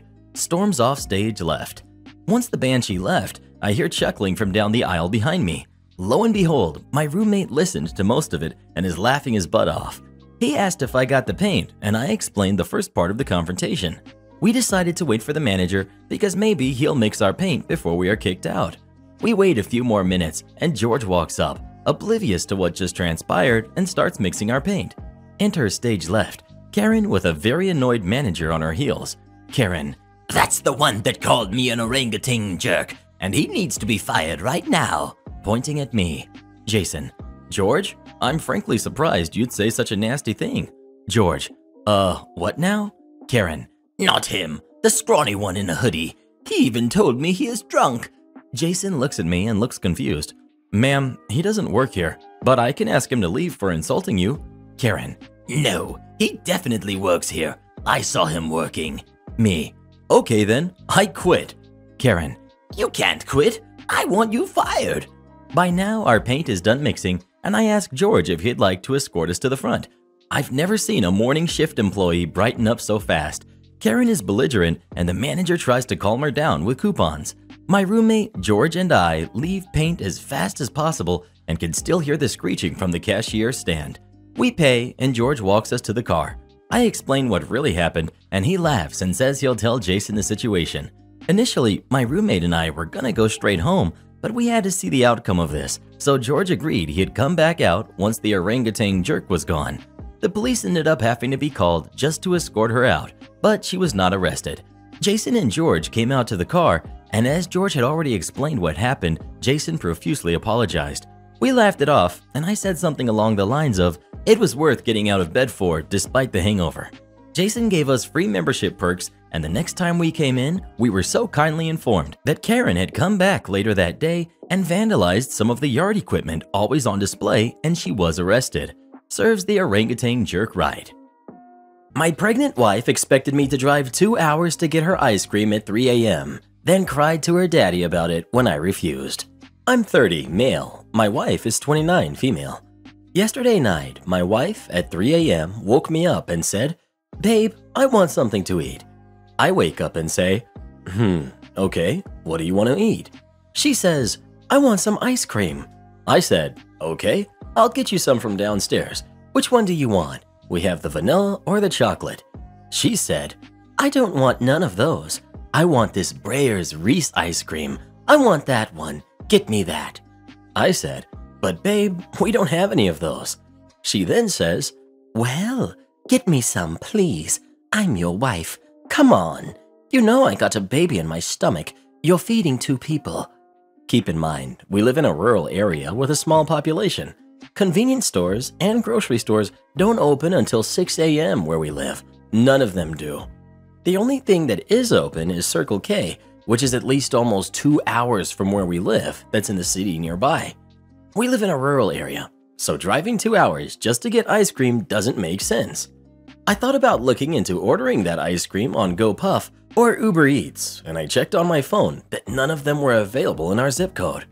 So then I told my wife, Well, babe, I guess you gotta wait. Sorry, I can get you some when it turns six, but there's still three hours left. I mean, we still have chocolate and vanilla ice cream at home you can eat. You can eat that, and when it turns six, I'll drive over and get you the other one. It's not a problem. Then my wife just makes a grunt noise and says, Fine. Turns out my wife texted her dad about it, and he called me up and asked me why I didn't get his baby girl the food she wanted. I told him that we live in a rural area and stores don't open until 6. We don't have any delivery options nearby, and I can get it for her at 6, but not now. He told me I was being a bad father for not helping my pregnant wife. Am I the jerk? Edit. Also, I want to hear your thoughts and what you'd do. Would you get your significant other their craving in the situation? I'm genuinely curious to hear others' thoughts on what they would do in my place. Would you go or not? Edit 2. A lot of you are saying I should have mixed peanut butter in a blender with ice cream, or gave her ice cream with peanut butter. We don't have any peanut butter at home, so that wasn't an option really. Well, who do you agree with? OP or his wife? Please let us know. If I tried this on Reddit, boy, I'd be sleeping in the backyard. Am I the jerk for not believing my daughter's obvious lie and canceling our weekend? Last week, I went to use my Bluetooth headphones. They were gone out of my bag where they always are. I asked my daughter if she had them. She's always taking my stuff without asking. I've told her all she has to do is ask whenever she needs to borrow my stuff. That's all I ask in return. because I know I won't get it back as she'll deny it. She said no. I was skeptical. She guilt tripped me, saying I'd never believe her, etc., which she's not wrong. I don't, as she has a history of lying. She's constantly lying to me, even small, insignificant things. It's frustrating. I felt awful and apologized, just assumed I'd left them in the car or somewhere else. I wanted to believe her. Anyway, yesterday I was in her room looking for something I know she had borrowed, which I needed back. I didn't go through her stuff or anything of the sort. I respect her privacy. Noticed her makeup bag on the floor and had a look in there for my moisturizer, and there are my headphones. I was not happy. Decided I'd wait to talk to her when I picked her up from her course. When she gets in the car, I tell her I found them and ask why she had lied. She keeps saying she doesn't know how they got there, etc. I ask to see her Bluetooth pairings on her phone, as if it's not paired, I'd believe her. She wouldn't. We argued about it for at least 10 minutes. She kept up the argument that I wouldn't believe her either way, which I told her, no, that's not true. She just refused to show me. She wouldn't budge, she ended up crying, and I could tell she was very, very stressed. I kept asking to see the pairings, that if she hadn't used them, they wouldn't be in her phone. She ended up getting out of the car and walking off. I watched her, and unsurprisingly, she got on her phone straight away. I gave her a couple minutes for myself and her to calm down, then asked her to get back in the car. I asked again to please just show me her pairings. I wasn't surprised when she showed me straight away. I knew she had deleted it when she got out. It was just so obvious to me. I said to her, You flat out refused to show me before you had a chance to delete it. You were in obvious distress about showing me, but as soon as you had the chance to delete it and get back in the car, you show me straight away. I wasn't born yesterday. But now I'm the jerk because I said I'd believe her and now I don't. I'm at my wits' end with her constant lies and deceitful tendencies. I want to believe her, I truly do. It just doesn't make sense for her to not know about them being in her makeup bag when she had makeup on when I picked her up. I'm meant to be taking her and her friend away for a trip this weekend to hot pools and a bungee jump. I want to cancel it if she doesn't own up to the truth. Am I the jerk? Edit for info. She's almost 18. I started to recognize this behavior as an issue from around the age of 5. She's been in and out of therapy from the age of 13 or 14, always stops and refuses to go back after several sessions due to thinking the therapist is a jerk. Her words from her most recent one even though she likes it at first and is open with chatting to me about it again at first. She's had no major trauma that I know of apart from me and her dad splitting when she was three. She was week on slash week off with us co-parenting together. Anyway, little update. She rang me. I completely avoided the subject of asking for her honesty entirely and went straight to asking her if she'd be open to trying therapy again. She lost it on me, started saying very hurtful things, even said she'll be spending Christmas at her dad's. No idea where that came from. I let her finish and asked what time she will be home as we need to sit down and have a chat. I told her I won't be angry, we just need to talk. She's not coming home tonight apparently. I didn't get a chance to let her know I will be canceling the weekend as she hung up on me after telling me she wasn't coming home. Thank you to everyone that's taken the time to comment, not the jerk, or you're the jerk, etc. It's all helped. I've tried to keep up, but there's so many. I will do my best to answer. Think of what the customer wants? Sure. I work at a print hub, working the printers and adjusting files and such. I put in a lot of work to deliver a perfect product, despite the issues that plague the shop, and always ensure that everything I produce is quality checked. This isn't due to me putting pride in my work, however, but rather my boss nitpicks nearly everything. If something is off center by a millimeter, it's redone. If there's a small scratch on one poster in a pack of five, the whole order is redone. Now, don't get me wrong, the boss is a good person, not a Karen or anything, but sometimes we have to redo orders several times to ensure it's done to her expectations, which is absolutely fair. She is the boss, and it's not too often she does this. Anyways, on to the incident. I just learned that I'm supposed to run a one-shot D&D session this weekend. Short notice, have maps and everything to set up. It's a long story why this is last minute, but doesn't pertain to the story. As a result, I quickly picked out one of the dungeons I ran in my regular Dungeons & Dragons group, a galleon ship trapped in time where the players need to manipulate the environment to have one crew open or close doors, and turned it into a one-shot adventure. I call it The Time Between the Seconds. Since it was last minute, I didn't really have time to optimize maps, so I just sent the order through my job's online submission, with the intention to just print out a pixelated mess just for the sake of having visuals. It's the way I DM. I like having visuals for my players to help them envision the area. Today when I came in, I found the order I submitted and completed it quickly. Admittedly, it was a bit of a mess, and it didn't help that our color machine started leaking toner again. Blue streaks on the paper and everything. Whatever, I'm fine with it. An hour later, while I was working with posters, my manager, let's call her Kay, came into the room. She started. Kay, holding up my order. What is this? Me. Oh, that's my job. I was. Kay interrupts. How can you say this is good? It's pixelated, and the machine dumped toner on it. Me. Kay, it's okay. I am. Kay interrupts me again. It's not okay. You have to contact the customer and figure out how they want to proceed. Me, sarcastically. Trust me, I'm sure the customer won't mind. Look at the customer name. Kay. It doesn't matter. I want you to see how they want to proceed. Think about what they want. Me. Ah, yes, Kay. Kay dropped the order in front of me and left the room. I considered my options for a moment and looked towards my dwindling workload. Oh well, malicious compliance number one. I finished my assigned work and got to work on the maps. As I said, I didn't properly optimize them or anything, so I started working through the 5 11 by 17 maps I had smoothing out the pixels. It took about an hour to get everything set up. Normally I work on a program other than Photoshop for my maps. After that, I went through the character sheets, filling in any of the blanks I left in, such as personality, bonds, and gold. About 15 minutes. Then, what about any random gear they may have? A big part of this one shot is their carrying weight, so I calculate those totals up. Another 20 minutes. About an hour and a half later, I have the files up to the customer standards, which is mine, and I print them out again. But the toner dumping on the color printer is still an issue, so even though the files looked a lot better, there would still be blue streaks on the paper. So when Kay saw it, Kay, holding the completed order. Cole, what are you doing? You know the color machine is down. Me. I know, but I can't wait for the machine to be fixed. Kay considers for a moment before speaking. Call the customer and explain the issue. See if they will accept it half off. Me. That isn't needed, cause just do it. Me, taking a deep breath. Ah, stay here, please. Malicious compliance number two. I picked up the office phone, looked her dead in the eyes, and dialed the number on the order form. From my pocket, the Silver Samurai theme from Phoenix Wright series began to chime. I take my phone out of my pocket and answer, immediately saying, Yes, I will take half off my order. Kay was speechless and just quietly walked out the door.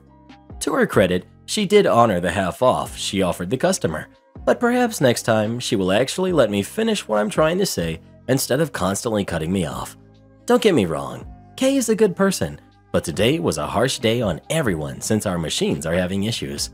The only one who was able to get anything done was me, since my printers, the wide format, and the drafting machines were working perfectly. I'm sure tomorrow we will have a laugh over the situation as the machines are fixed now and stress levels have lowered. Am I the jerk for sending back my dish four times because it wasn't spicy enough? I'm currently on a business trip in another city a few days ago, I dined in at a Thai restaurant near my hotel. I ordered a green curry and asked for 5-star spiciness. My waitress laughed at me and told me that I'm getting it 3-star. I corrected her and told her that I in fact ordered it 5-star. When she came back with my dish and I tasted it, it was not spicy at all. It wasn't even a 3-star. I sent the dish back and it came back a few moments later with what appeared to be red chili flakes sprinkled on top. I asked her about it and was sarcastically told that I ordered it spicy. I told her that it makes no sense to sprinkle red chili flakes on a green curry which is supposed to be made with green chilies. It honestly looked hideous, but I tried it anyway. It still wasn't spicy, so I sent it back. When I got my dish the third time, it was exactly the same as the first one I got. So I sent it back again, only to have the red chili flakes sprinkled on top again. It was, like that other time, not spicy, so I sent it back for a fourth time. When I got my dish for the fifth time, I was happy to see that there were no red chili flakes sprinkled on top. The waitress, in a very sarcastic tone, told me that they made it extra spicy just for me. Told me that she was going to stand there and watch me eat it, and took away my water glass. I tried it, and it was not extra spicy, but it was just barely acceptable, so I didn't send it back. I told her so, and she walked away, looking completely bewildered as I finished my bland meal. The next day, I was still upset about it, so that night, I decided to order the same dish from the same restaurant to my hotel room, but under a Thai name, just to see if they made it any differently. Sure enough, the food was very spicy, just as I ordered. It was far better than the extra spicy dish I had at the restaurant. I sent the manager an email detailing my experience at the restaurant along with the waitress's rude behavior. I told them about the difference between my meal from that day and my delivery order. The manager apologized and told me that they will talk to the waitress in question. They also offered to refund both of my meals, but I declined because I will be reimbursed by my company and do not plan on eating there again. Well, what do you think? Is OP the jerk or not? Please let us know. I don't even think about what else they did to your food. Back when I worked at Jack in the Box, we used to. Don't clock out late? No problem. I worked for a hotel chain restaurant as a busboy and had lots of other little side jobs besides working the floor, mostly helping to move stock off of pallets and stuff like that. Sometimes I would clock out a little late if shipments came in later or if it was a busy day, plus a large shipment always guaranteed another hour on the clock. We got a new manager who looked at my time card during her first fortnight as the new manager. She was really aggressive with me, asking me why I clocked out so late. Like, so, what's up? You're playing video games on the clock for an hour? Hmm? You just hanging out getting paid? The rec room had video games. I explained that I was unloading pallets, and she said, You're a busboy. That's not your job. You clock out at 9. We have a payroll to make, and we can't do it with people working extra hours because they didn't work hard enough during their shift. Okay, fine. Finally, about a month later, it was summertime, and we get this really late delivery of a bunch of dairy items. The head chef received all and then had me start to unload it. This is at 8:45 p.m. I told him, "Chef, just to be clear, Miss Weatherby said that I have to clock out at 9." Chef, "Well, I need this thing unloaded." Me, "I've got 15 minutes and then I get in trouble if I'm not clocked out." Chef, "Do your best." 8:46 p.m. Go get the dolly. The dolly was taken by the banquet people so I find it and start moving stuff. 853, first load on the dolly. 858, unloaded and back to the pallet. At 859, I stopped what I was doing, left it all there, and walked directly to the punch card machine. 9 p.m. on the dot, I punched out. The next day, I got a call from the hotel's general manager asking me why I left all the dairy on the pavement. It was left out overnight, and hundreds of dollars worth of stock was spoiled. Yes, I had to clock out at 9 p.m. GM, did you think it was a good idea to leave the milk outside? Me, no. GM, then help me understand why you didn't put everything away. Me, Miss Weatherby was very specific that I was not to clock out late to unload pallets. She said that's not my job. GM, did it occur to you that the chef needed to know this? Me, I told him I needed to clock out at 9 p.m. GM, we've lost hundreds of dollars and wasted all this food. Me. I would like to go back to the way it was, instead of having to clock out right at 9 p.m. on my evening shifts. GM. Don't do this again. Clock out when the job's done. Outcome. Nobody ever mentioned it, and from then on, I clocked out when I needed to. Not a real juicy outcome, but it was still nice to have happened. It doesn't hurt to ask. You're no better off if you didn't ask at all. I, 42, am at his store. Let's just call it Wally World just buying candy for an upcoming spooky holiday. I don't work at the store and I have a green shirt on. I was browsing when an older man and a six foot tall boy, older man might be about 70 or so, come up to me out of the blue and asked where to find strawberries. We are in the right area and I know where the fresh fruit is and walked him over. Older man. No, I wanted strawberries for strawberry shortcake. I have not had any in many years. He gets flustered and says he wanted a more creamy strawberry. I say sorry, but I didn't work there and I was not sure what he meant. I felt bad as he wandered off to look for others to help him. I watched him walk off, then got an idea of pie filling and ran to the baking aisle to find the strawberry filling. After I go off to find him, I found him a little later at the frozen strawberries, getting slightly upset about how they wouldn't be right either, since the pieces would be too big. I tap him on the shoulder and wave. Me. I found pie filling, showing him the can of filling. I use it when I want shortcake. Older man was smiling so bright. This will do great. Thank you. You're a great worker. Me, using my eyes to smile due to wearing my face mask. I don't work here. Why did you help then? Me, you asked me. It doesn't hurt to ask. You're no better off if you didn't ask at all. We part ways, and I get to the candy aisle, and I find the good candy up high. I go to try and climb up. I'm five feet tall. To reach the big pack of normal candy bars, when a tall teenage boy comes up and helps me get them down. Me. Thank you. Teenager. No problem. You helped with my grandpa in being able to enjoy his favorite snack later with us. He asked me to help you. He wanted me to say to you, it don't hurt to ask. The teen walks back to his grandpa, and we give a small wave. That time I accidentally facilitated a divorce by answering the restaurant phone. I started at my current restaurant gig 11 years ago, and I was just reminded of something pretty wild that happened in my first year there. We had a couple of married bar regulars. I'll call them Jack and Jill. They were very frequent regulars, the type you see two or three times a week. I'd gotten to know them by face and name after a few months, but we weren't close to any level where we'd have extended conversations about our lives. While closing up at the end of a shift, a coworker found Jill's phone left behind, where they had been sitting. The screen was passcode locked, so we set it aside with the plan to return it the next time they came in. A couple of days later, and I was working the bar at the beginning of our dinner shift, and the phone rang. I just so happened to be the one to answer. Hi, thanks for calling Captain K234's restaurant. How can I help you? Hi, Captain K234. This is Jack. Is Jill there? No, she's not, but it's good luck that you called. We have her phone here. A brief pause from Jack, and then, Which phone is that? Because she forgot her phone. I'm looking at it right here. That's why I'm calling the restaurant number. It turned out Jill had been cheating on Jack for months, and she happened to leave behind her cheating phone. Jack found out that day because he talked to me. They were separated within days.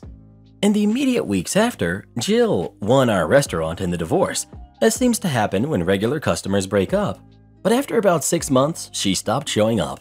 Someone must have eventually told Jack it was safe because he came in a few years later and told us all the sordid details. My entitled mother wants me to buy my little brother video games. I have so many stories about my mother and her entitlement, but this one is the most recent one. From ruining my high school graduation to putting people down every possible way. Good thing I moved out when I got the first chance away from all of her toxicity. So, people in the story War Shadow 91, yours truly.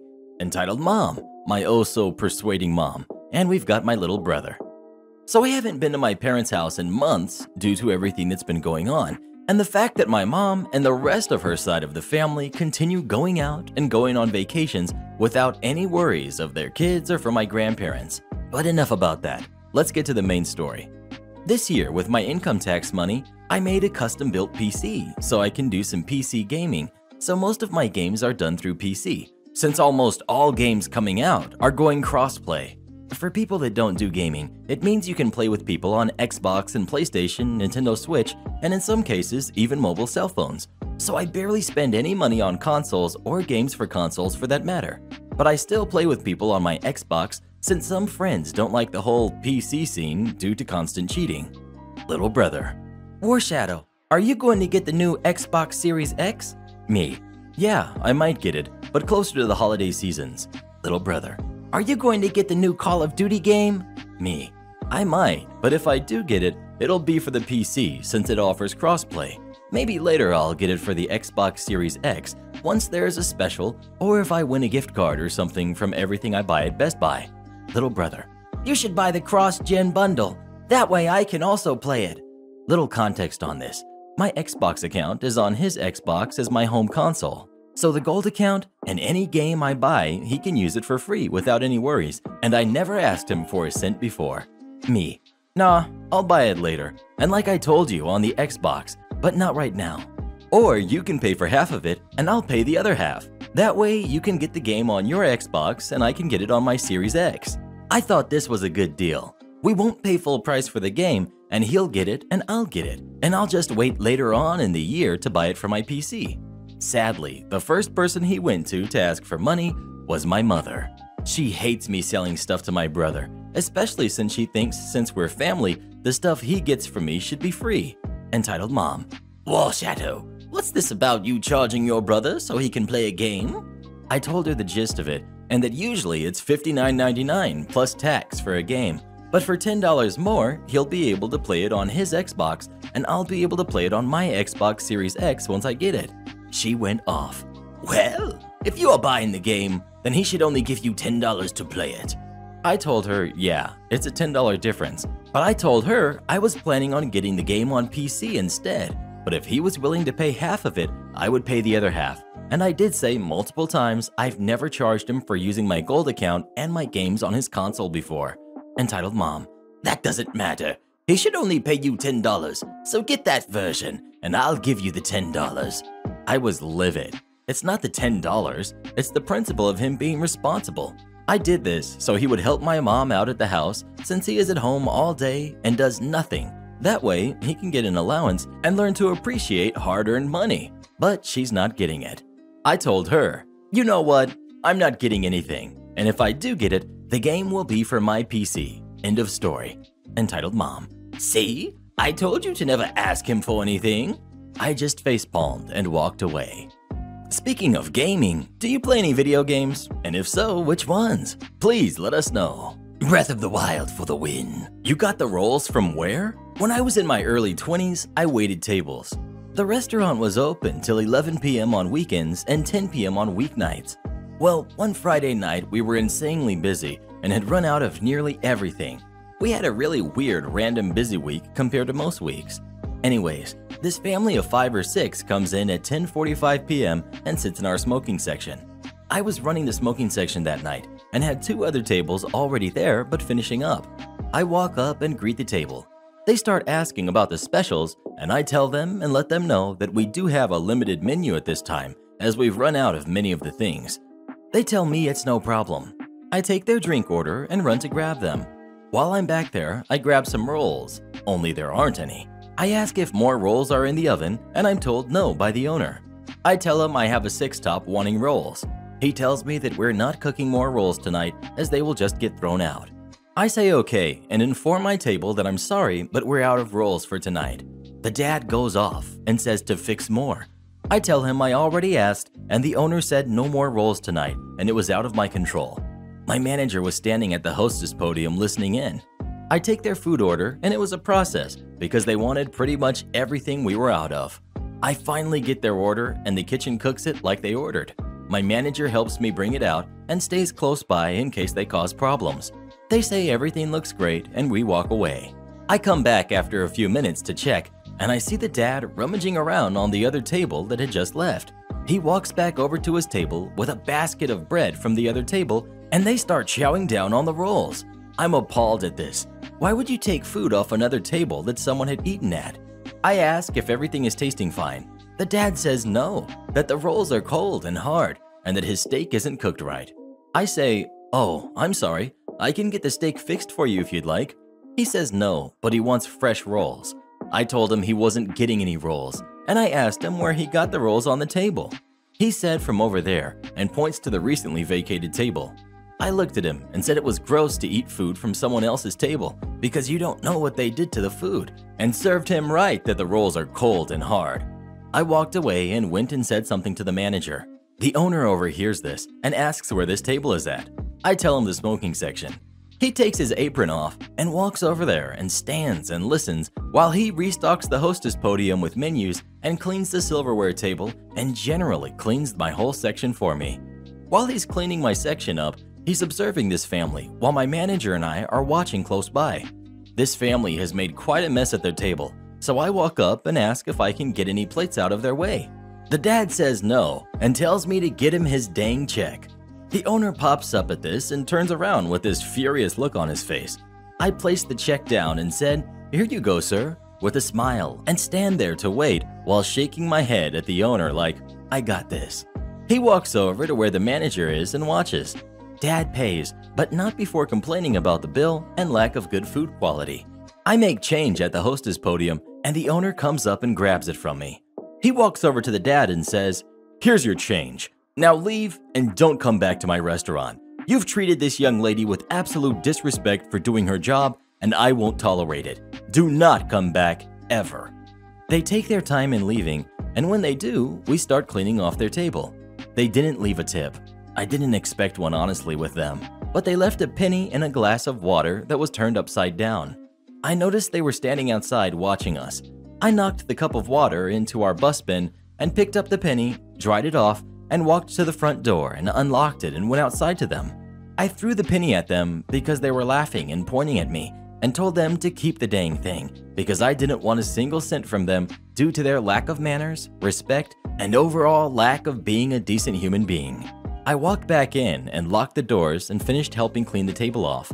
Manager and owner were shocked. Owner said, Well, little Miss Sweet and Innocent isn't Miss Sweet and Innocent like I thought. And I laughed and said, I may look sweet and innocent, but I'm a pit bull when I get angry. It was the first time him and my manager had heard something like this out of my mouth. Word got around the restaurant about this table and how I handled it, and everyone was glad I didn't take crap from them. Support our channel by joining as a member today, and we'll give you a shout out in our next video. Or come watch this video next. You won't believe what Karen does in that one.